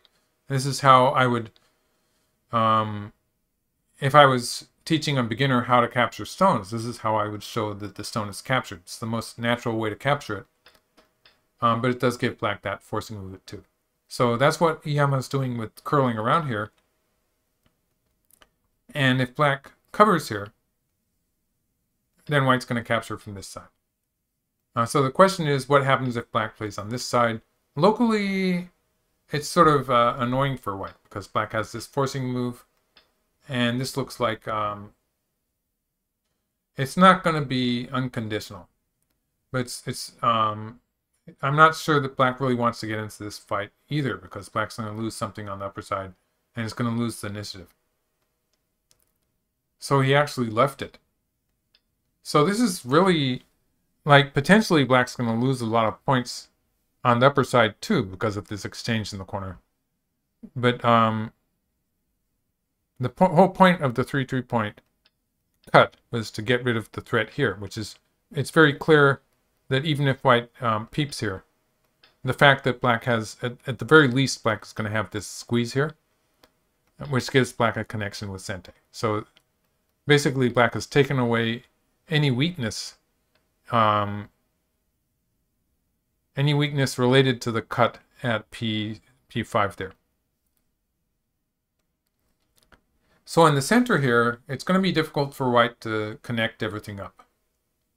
With this peep, without the peep, let's do it without the peep first. So locally, this is a kind of a shape which uh, does sort of connect up the white stones. Um, but you can see that, so for instance, if black just cuts here, yes, so that's cut off. So that's an example of how white can get cut there. And so with the game move, if black answers this locally, white's going to be able to connect everything up here. And this is perfectly connected. There's nothing that nothing bad that can happen to white now. Apart from the fact, apart from the fact that um, black does have, in some cases, black will have a move like this, and potentially some profit. So the profit I'm talking about is, um, for instance, stuff like this, where black cuts off some, some a, a stone or so.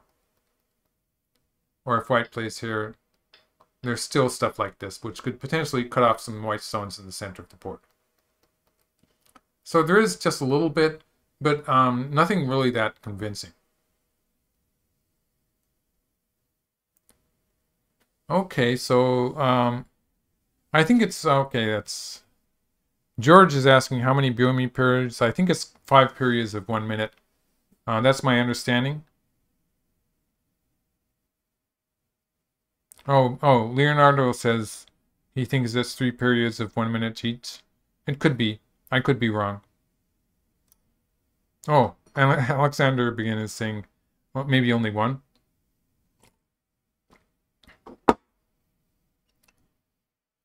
I think it's the more important part of that is the the size of the period. So if it's one minute, um, it's going to be one minute as long as they keep playing anyway.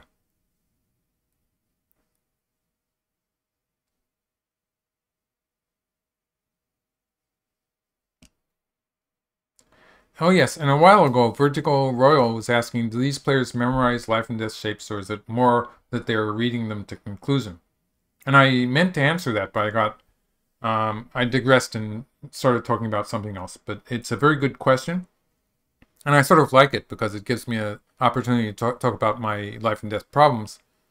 Um, the problems that I publish on my YouTube channel are mostly sort of what I would call classics. They're problems that have been around for hundreds or maybe thousands of years. And so they're very old, they're basic shapes, and it's just, some of them are just so useful and um, common that it's virtually it's impossible to um, improve them, really. So they, they, they come up with the same shapes all the time. They're things that happen in actual games. And so as problems, they're not really, the calculation of the problems is not so difficult. They're relatively easy when we compare them to problems that, for instance, some professional players will do. But they're very important because they're the shapes, they're the life and death problems that well, could come up in your games. In fact, I would argue that they are happening in your games, um, provided you notice them. So the problem is that you don't see them coming and you make some mistake um, on the way to getting to that problem. And so to that extent, there's these shapes that they, the players just know. They, they, it's part of the patterns that they know. And it means that uh, when, when you get to that shape, everything just, you might say they're reading it out, but it just sort of happens automatically. Like it's, um, like a videotape on on fast um, on, on two times speed. Okay, so we're getting some moves that I was talking about. So this is the move that black has that can cut off some white stones in the center of the board. And it looks like the, the whole, the large part of white's group is going to survive. Um, but black is trying to cut get some extra profit in the center of the board, just cutting off that one white stone.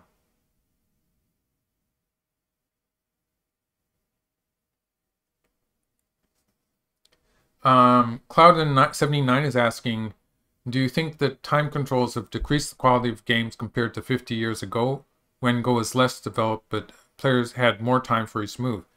And I would say that um, by modern, actually I would go back more than 50 years and look at the games from the Edo era where they did not have time controls at all.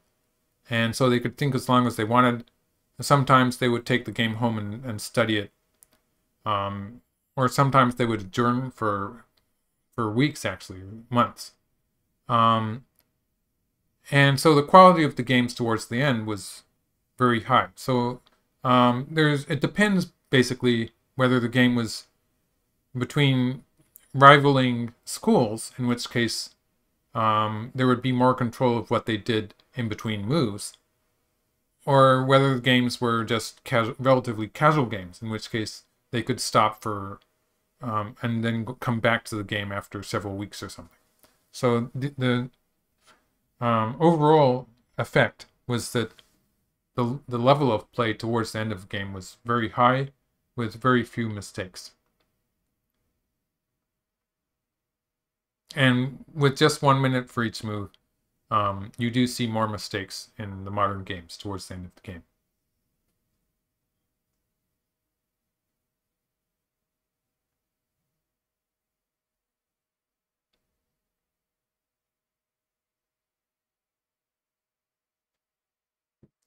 Okay, so black is starting something in the upper right corner. It looks like black is probably just going to get kind of a squeeze. Um, mm-hmm. Okay, so the question is whether black is going to... Oh, yeah, black didn't try anything. So, if black had played this move, and then here, uh, this white would be able to win the race to capture with this move. So locally, it wasn't quite working for black. Um, would have been more complicated with this, but in some cases, even if black gets something like a ko in the corner, it's not always um, good when black is going to be losing points towards the upper side. So he just took the, the simple squeeze here. And that exchange of the sagari at the uh, R3 point with an extra white stone it made a difference. So for instance, if black had simply played here and white had played here, and then if we assume at some point white does get to push through and cut here, black doesn't really have a lot of forcing moves against the corners. It's limited to this kind of stuff.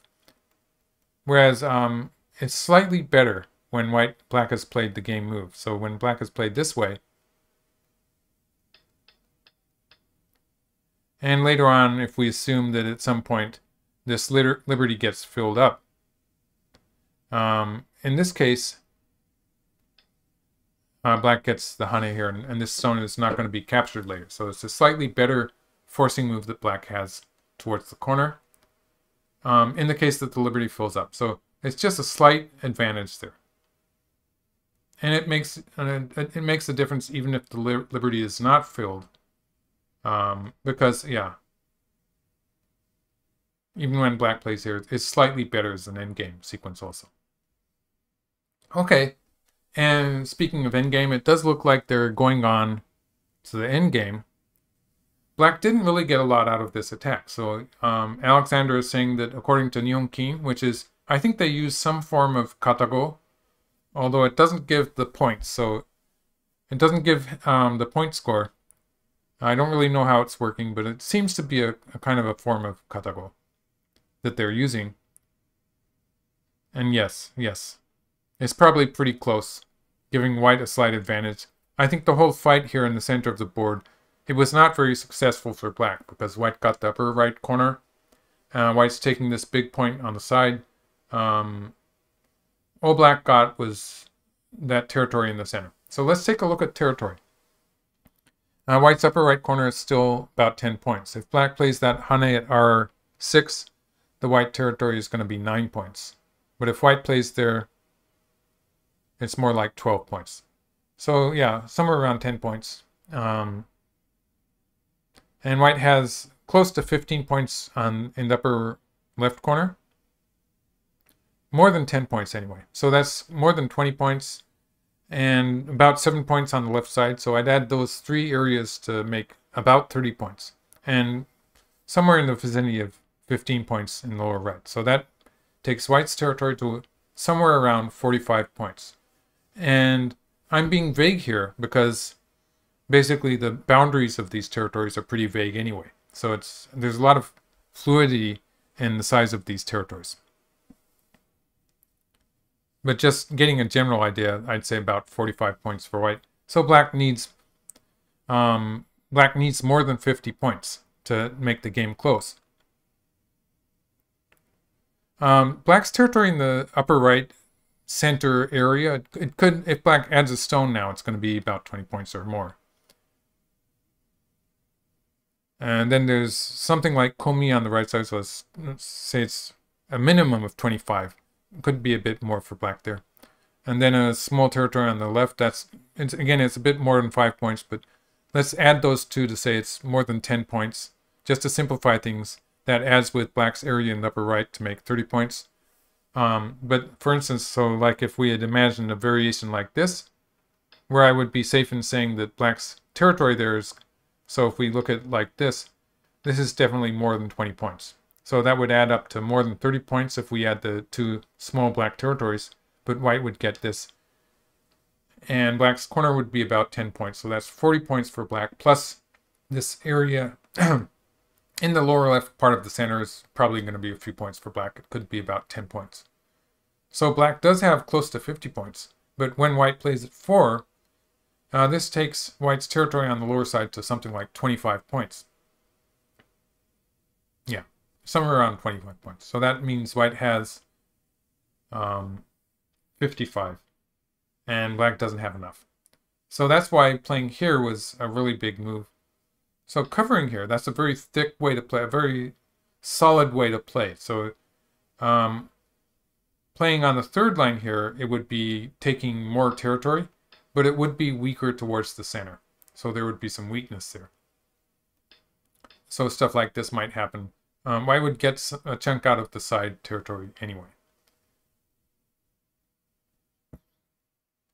So a very solid move here, which is going to lose some of the side territory uh, when white plays like this. It's going to be a bigger territory for white.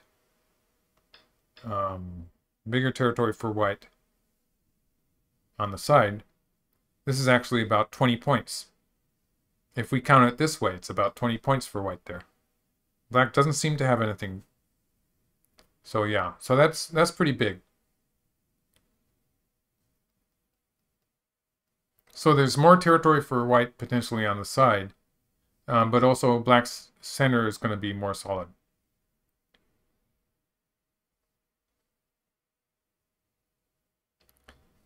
And while it's a really big move for white to play here,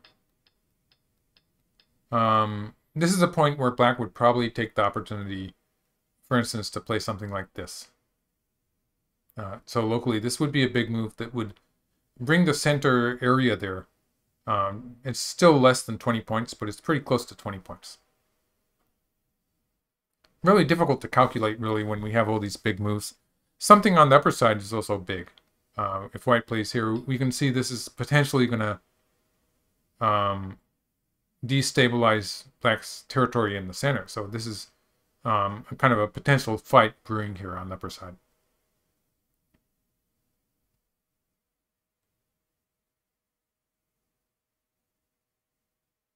Oh, G7. We're talking about G7. Uh, Cyphus and Jack Zhang were talking about G7. They're worried that black might be able to cut white off. So let's let's try that. So let's try it one move back. Black plays here and here. White will probably um, play like this. Um, it looks sort of difficult for black, but um, yes, white is not connected. But black's group there is not going to be alive either. So if we assume something like this happens, oh, this could be trouble for black in the center. This is really the kind of fight that white Iyama is probably starting to, hoping to instigate. But there's also the fact that um, on this side, black is not going to be alive. So if we look at this black group, there's always the potential for white to cut it off and make trouble for that black group. So it's really dangerous for black to start this. Although it's an idea that um, black might be thinking about, but um, it, it's just too dangerous probably for black to try to do that. There's so much danger on both sides. So black's group on in the center there is, is not so strong either. So there's a potential fight with white doing stuff like this and looking to cut here, um, which could be trouble for black on this side too. Um, so maybe this way also. So if white gets one more push, in relation to this. So like if, if, something is happening here, white gets to push here somehow. Um, black could be getting into trouble in the center of the board too. So it's just too dangerous. And it's a, it's a move that's, in the future of the game, it could be threatened, but um, it's not working quite yet.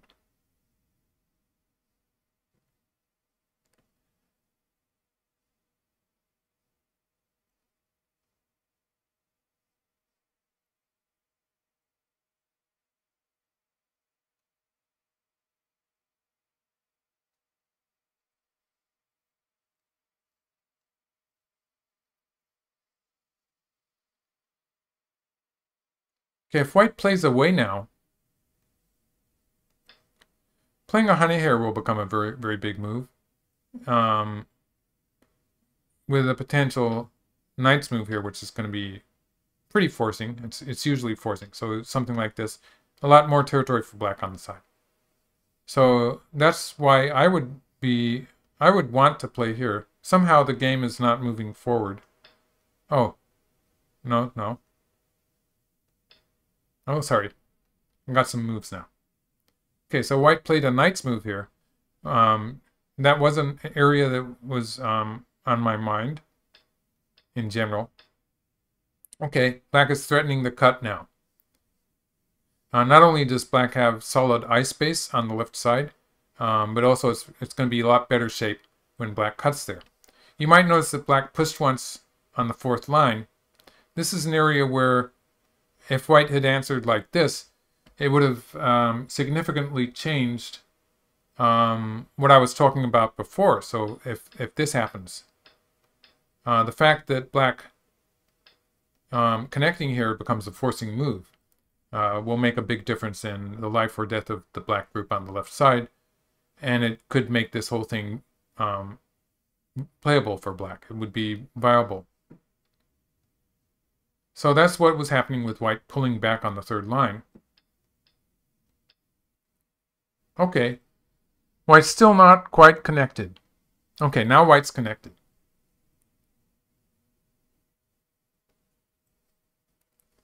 So they must be in overtime now. Yeah, it looks like they're in overtime.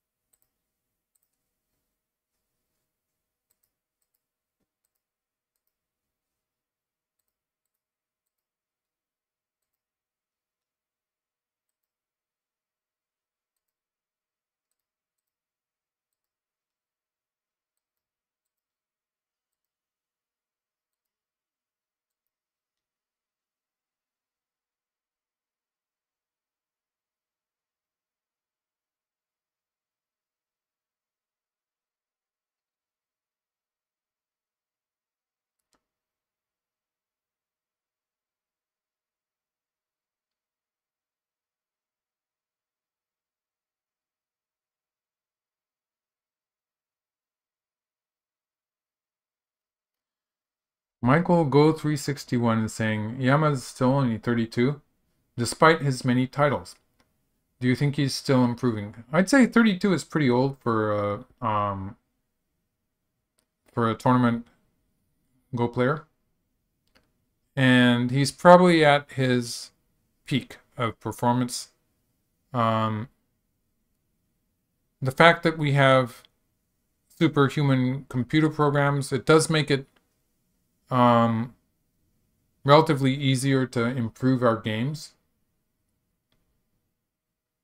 But yes, um, I think like in another decade or so, um, it does become relatively difficult to calculate at the same level. There's some pretty insane calculation being done by these players.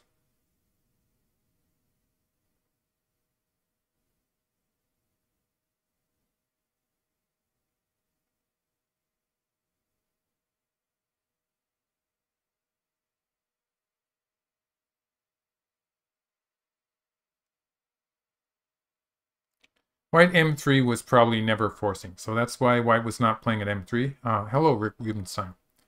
So White M3 was probably never going to be a forcing move, and that's why White didn't play it.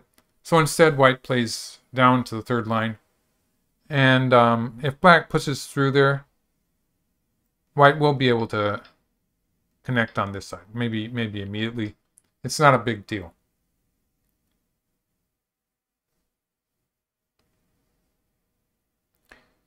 I think the game they're pretty close to being finished there, but there is this this Hane. Um, so locally, this would be a reasonable move. It would be a big move.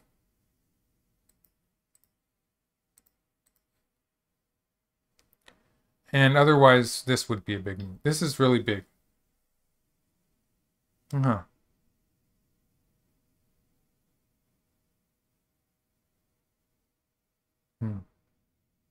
This is the big move on the lower side. It's really big also for white. Um, if white gets to play... If white gets to play this sequence. It's just like it's... 20 points on the lower side. And if we look at the territory, that's something around 50 points for white on the whole.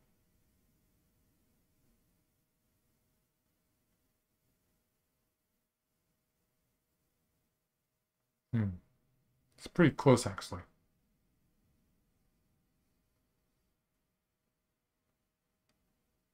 Okay. Black jumped. I, I was so sure that it was going to be this move. Just because of the fact that black has this slide, which is sort of forcing there. If white plays away. He jumped. And white played here. So what is white trying to do?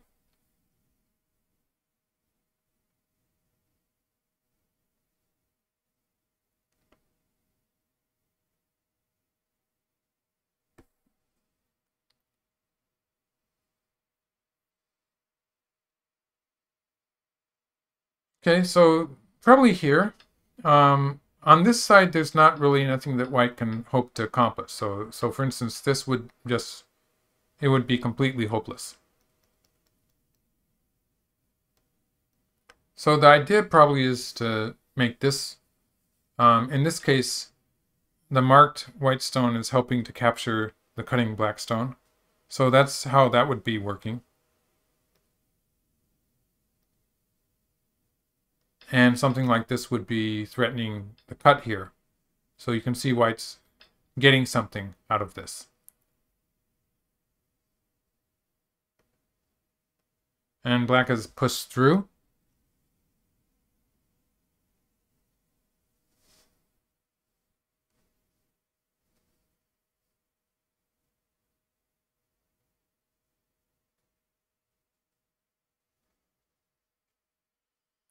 Okay, we're talking about strong players, and looks like people. I, I missed a few comments there. Sorry about that.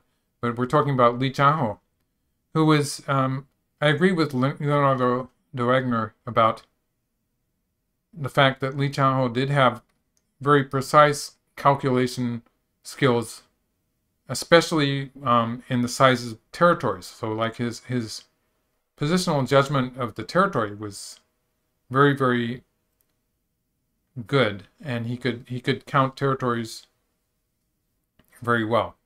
Okay, so what's happening here in the center? So white cut first. And if black answers, yeah. So if black answered had answered, let's see, defensively like this. Uh, let's let's make a diagram. And stuff like this. Uh, you can see how white's just getting a lot of stones on the outside, and it's potentially going to be trouble for black. So black's not going to die on on in the center, but we'll have to deal with that group on the right side and stuff like that. So this is what white is trying to do here with the cut. So basically it's the fact that black cannot cut at 3 because white can capture the one stone with that marked stone. So first of all, that's what white was doing. And where did black play? Black pushed through here. So I think black's idea is to try to play a forcing move here. So um, so when white does stuff like that, let's see. This is getting to be pretty complicated. So um, in this kind of fight, setting up this forcing move, which would in some cases set up this forcing. So maybe here once. Um, just sort of setting that up in advance is what I think black is doing here. And where did white play? White played a hane. Um, white's trying to make things complicated here, isn't he? So white plays a hane. Um, indeed, it is confusing. Um,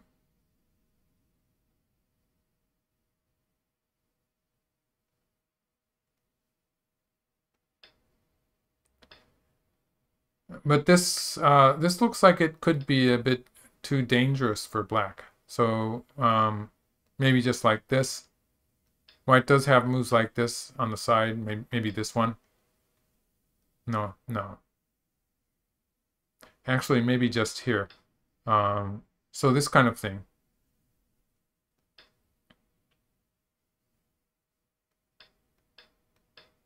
This could happen. This could be uh, dangerous for black.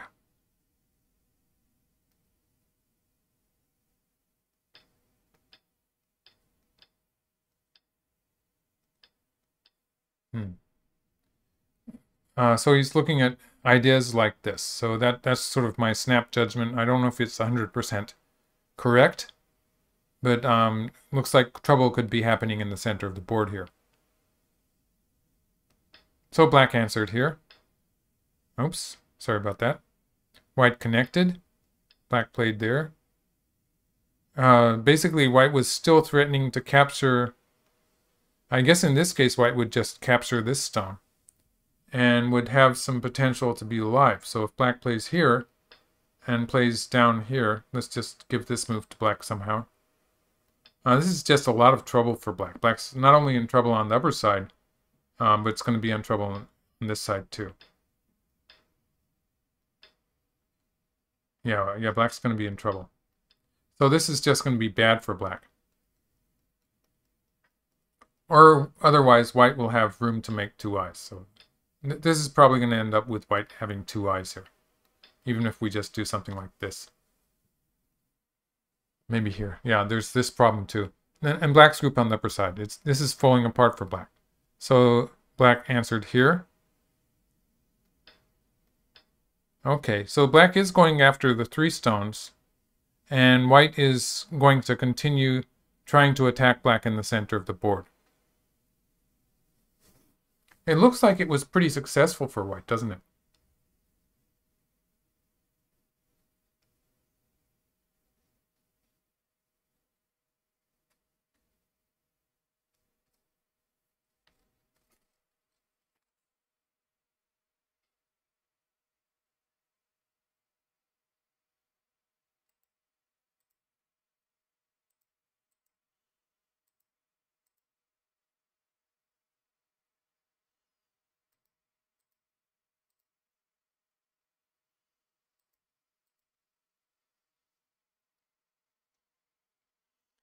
Okay, but um, black does...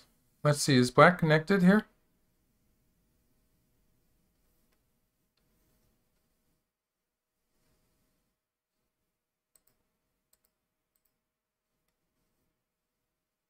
Yeah, so black does have to connect on the right.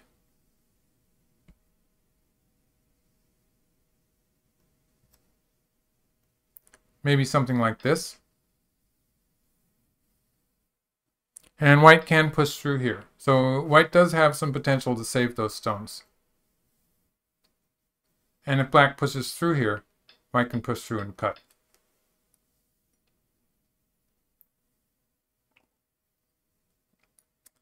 Okay, um, let's put you back on the game here for a moment. And I do have to uh, get some tea now, so I'll be right back uh, just a few minutes. So I'll, I'll take a break for a few minutes and I'll be back with you uh, to continue watching the game.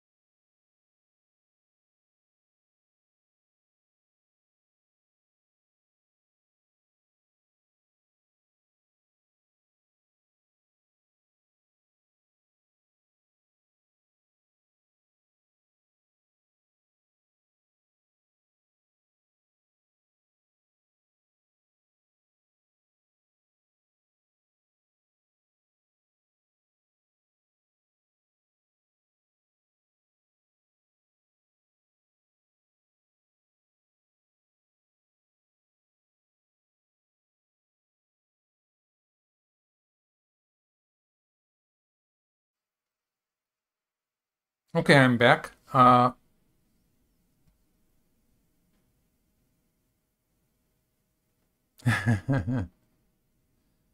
okay, let's take a look. What's happening here on the lower side? It looks like looks exciting. Okay, uh, first of all,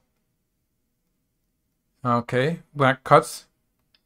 Okay, that's not connected. Is that going to be okay? Uh, this is, was a big move here in the center of the board.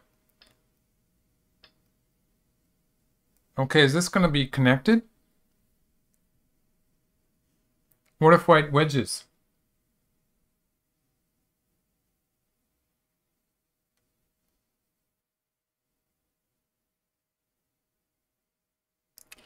Okay, Alexander's asking, aren't AIs famously flawed at endgame? It's, it's sort of ambiguous because it's very difficult to learn endgame from an AI because they don't play the correct moves.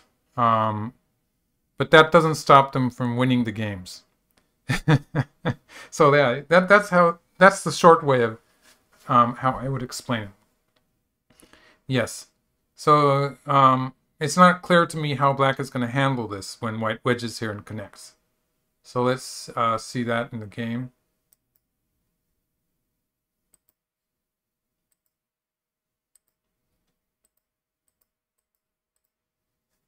And white's going to connect on the third line and black doesn't really have any good way to save the stone black played at L18.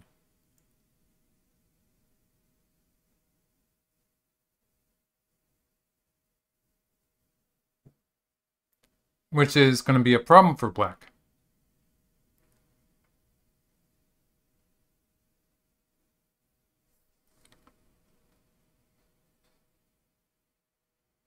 Yes. Um, Kurt Fry. Yeah, the wedge was the the move White just played.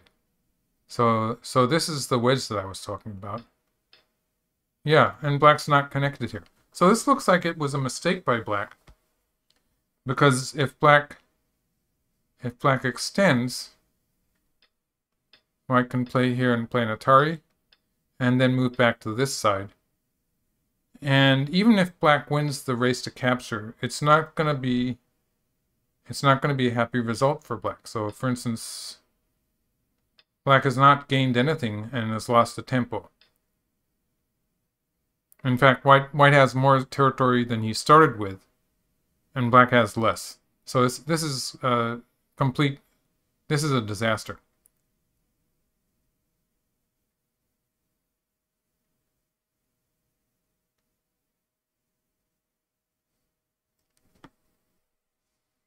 I sort of have the feeling that it's the kind of move he might have been looking at with the jump there. He might have thought that he had this, the jump at I-18. Maybe he thought he had this Tesuji.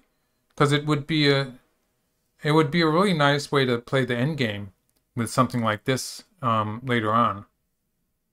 Um, and you would usually think it was a forcing move.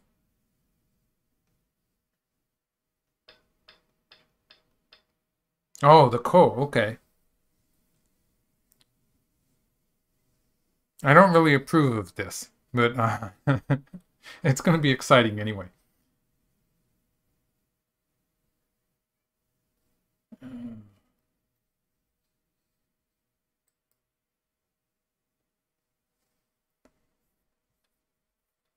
The problem with this ko is that white's pretty much alive in the corner.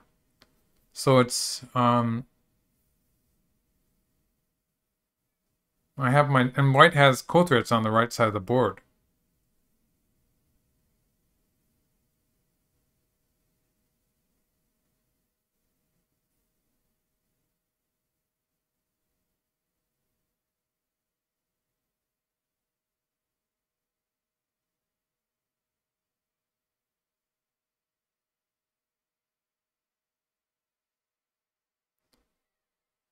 Okay, so this is a, a code that actually, while white is standing to lose something like 9 or 10 stones after black wins the ko, and when white wins the ko, it doesn't look like black is losing so much. It's actually the reverse is true. It's a code that's almost black. I would say that black cannot afford to lose this ko But in some cases, like if black, if white captures the whole right side, it's conceivable that white can lose it. So, for instance, if we continue with something like this and something like this, with white capturing all these black stones on the right, um, and you, you, can see white's white's already alive here. Uh, white doesn't even need, need that move. So think in a position like this, uh, maybe white's gaining more than black did. So that's the impression that I have here. Taking these black stones on the right side would be more than 30 points worth of territory. So it's actually very dangerous for black. Um, capturing here is a huge move for white, and it's like that area where black used two stones to make it into a 20 point territory. Most of it's gone, and white's getting a lot of territory there. Of course, in this case, black would capture white in the center, so this would probably be too big. Um, but black has to be careful about that ko. It's a dangerous ko for black.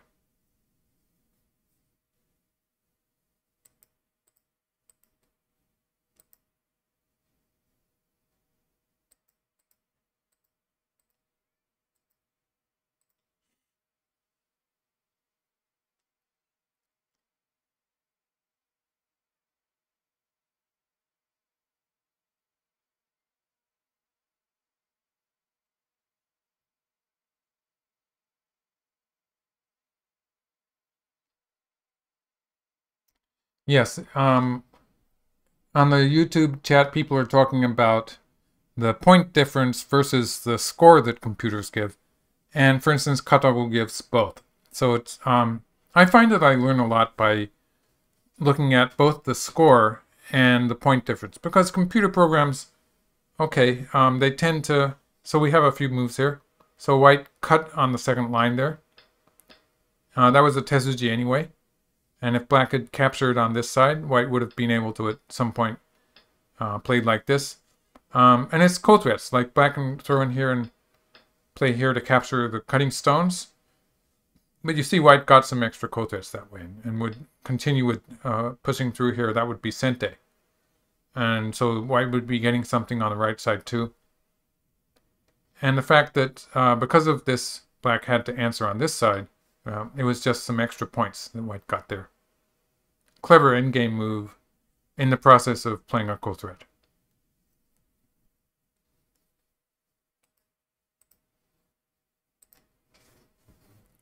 Okay, black doesn't really have so many ko threats. So let's see, where would black play a ko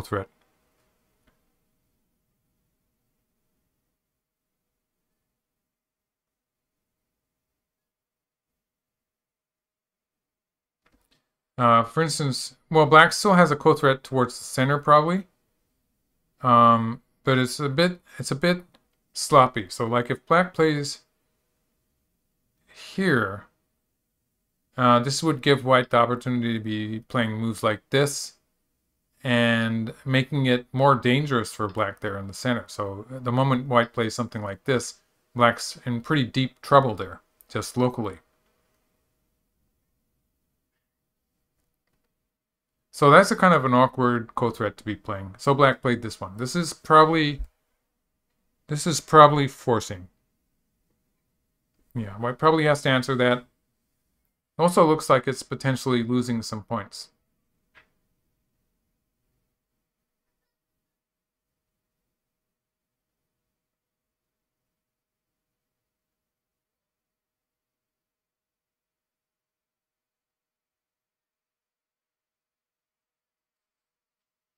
Mm-hmm.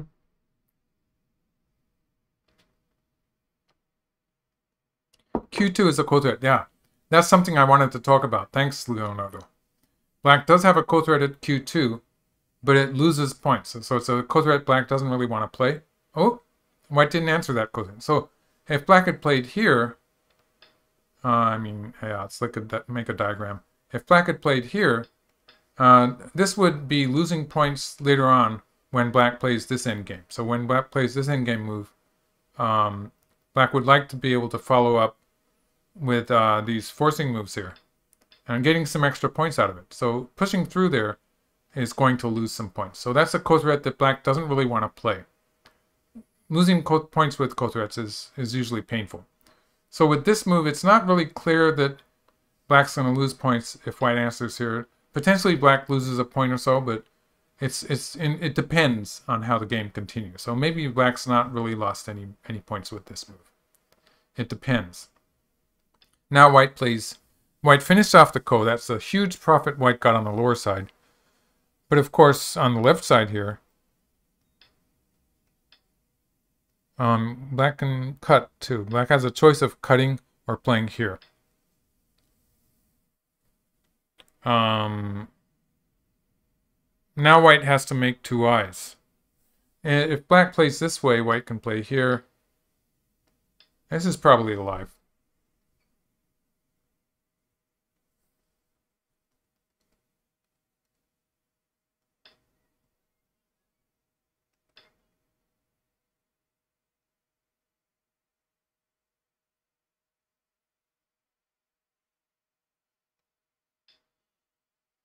Mm-hmm.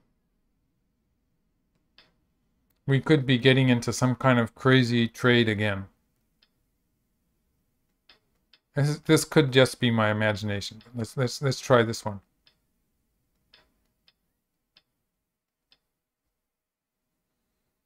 It's probably not so good for black. Let's see what's happening here.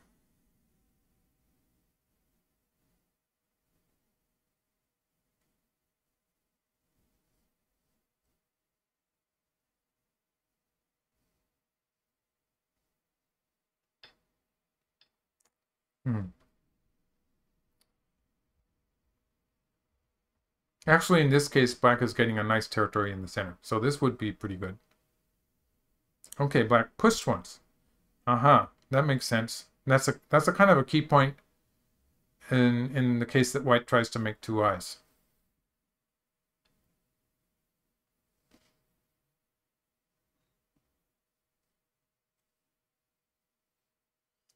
So much depends on whether white can survive here or not. It's um, the territory is probably pretty one-sided with white having more territory than black. But I don't really see, personally, I don't see how white's going to make two eyes. So that that's what makes it difficult for me.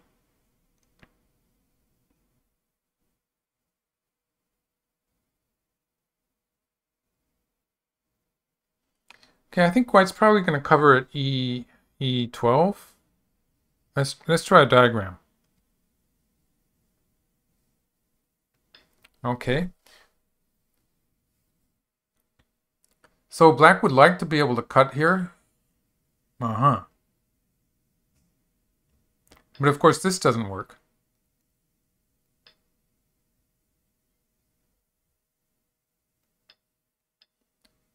And this is probably not good enough, although I haven't counted the score. It's probably not good enough for black. White profited on the left side and the lower side. And the lower side was really big, so it looks like it's probably good enough for white. But I would have to calculate that. Um, I would have to count the territory. Uh, if black plays something like this,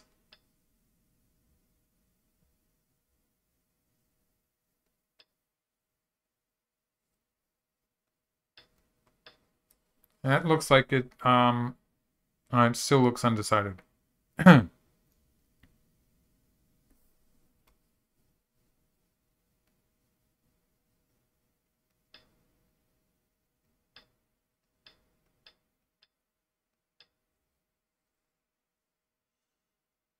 not quite alive, is it? I'm still worried for white. Oh, so white pulled back? I don't really see how, uh, where the second eye is.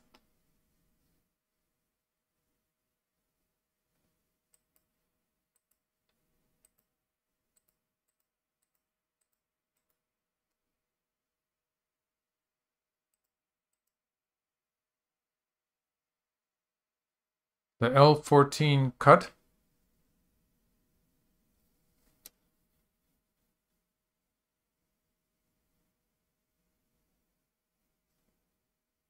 The I-14 maybe. The I-14 cut is something that could be used to white's advantage, yes. Okay, so pushing here, does that give white two eyes? It looks like it's going to be another ko.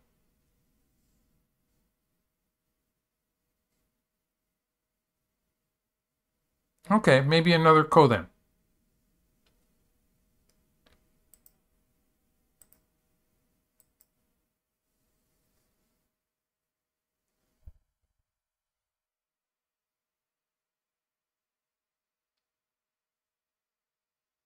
Mm-hmm. So basically, at some point, white has to play an Atari at the ko. So for instance, for instance, this one.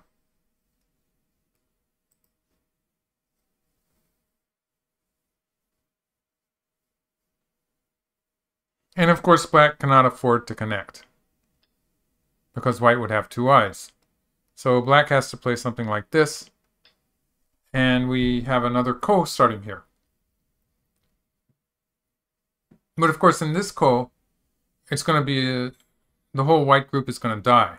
So this is the kind of ko where we can use Leonardo's ko threat. And it's going to be okay. So black has two ko threats here. And black has a ko threat here. Uh, I'm not so sure about this ko threat. Maybe this ko threat, it could be ambiguous whether this is going to be forcing. It doesn't completely kill the corner. And it's definitely not going to kill white in the center of the board. Hmm. Okay. Maybe not that one. But black does have two ko threats. We have Leonardo's ko threats in the upper corner. Uh, where are white's threats? The right side is not big enough anymore. Okay. I don't, it looks dangerous for white, but um, people are saying the computer still likes white. Oh, white pulled back? Okay. I didn't see that move. So if we isolate the position, it's not alive. If we, yeah, so that move. Um, yeah, but it doesn't look like black can actually kill it. So let's let's do that. If white pushes through and black plays here, so the way black would try to kill it would be this way. But white has this forcing move and can push through here. So we might try to counter that with a black forcing move here at some point, which is um, not really working anyway, and it's not even forcing because white can capture here and um, has two eyes in the center. So suddenly it looks like white's just alive. It, it looks very simple.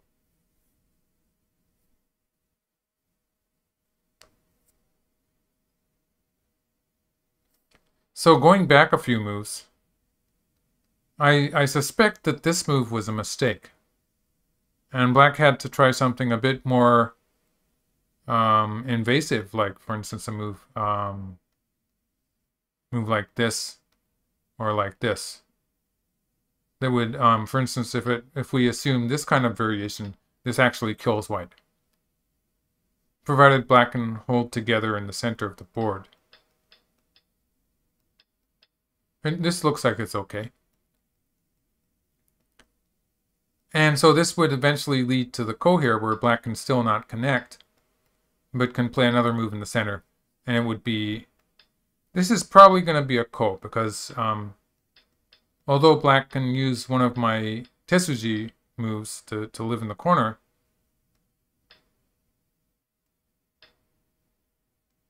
the center looks like it's going to be in trouble.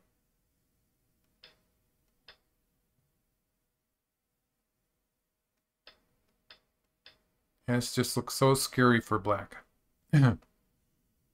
it's not gonna it's not gonna survive. Black's not gonna survive.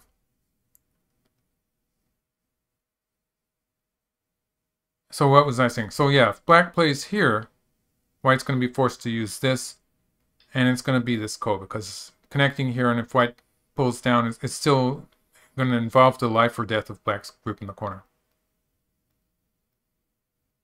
But if white answers everything, white is in danger here. And black is holding together here. So maybe it was the this move here I didn't see that move for white, but this is just, it looks so simply alive. Looks like a success for white.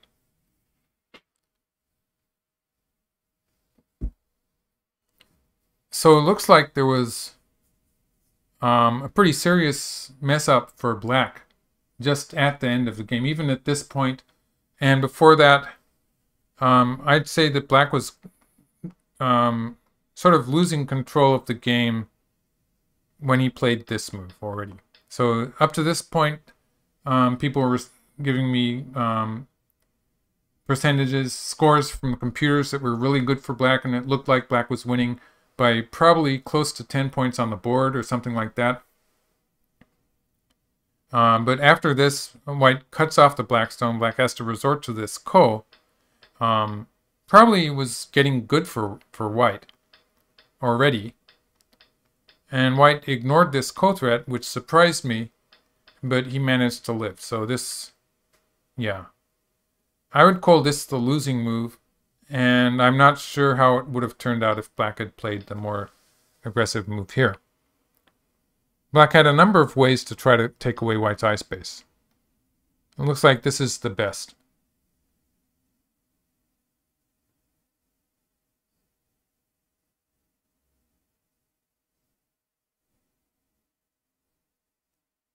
One fifty seven. Why does K eighteen not work?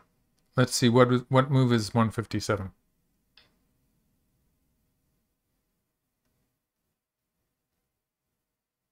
So this move, K18. Um, okay, that's that's uh, something that is worth explaining.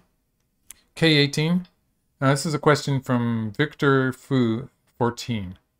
So white cuts here and plays this, and it's already bad for black because even if black wins the semeai, um, black's not.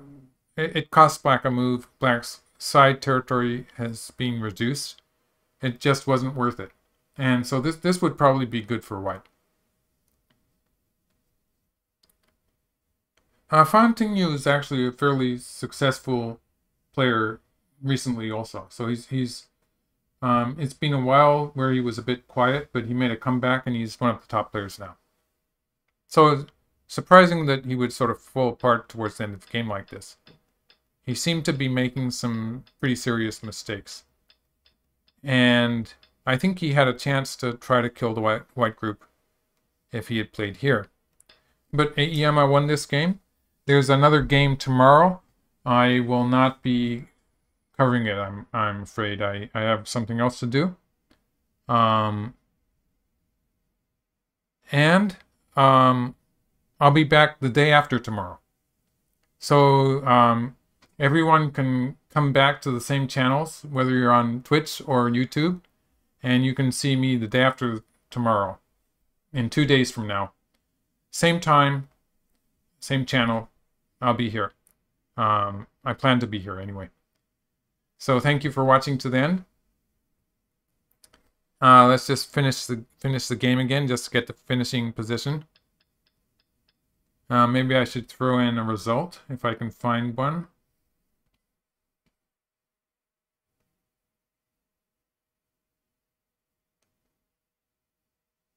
Okay.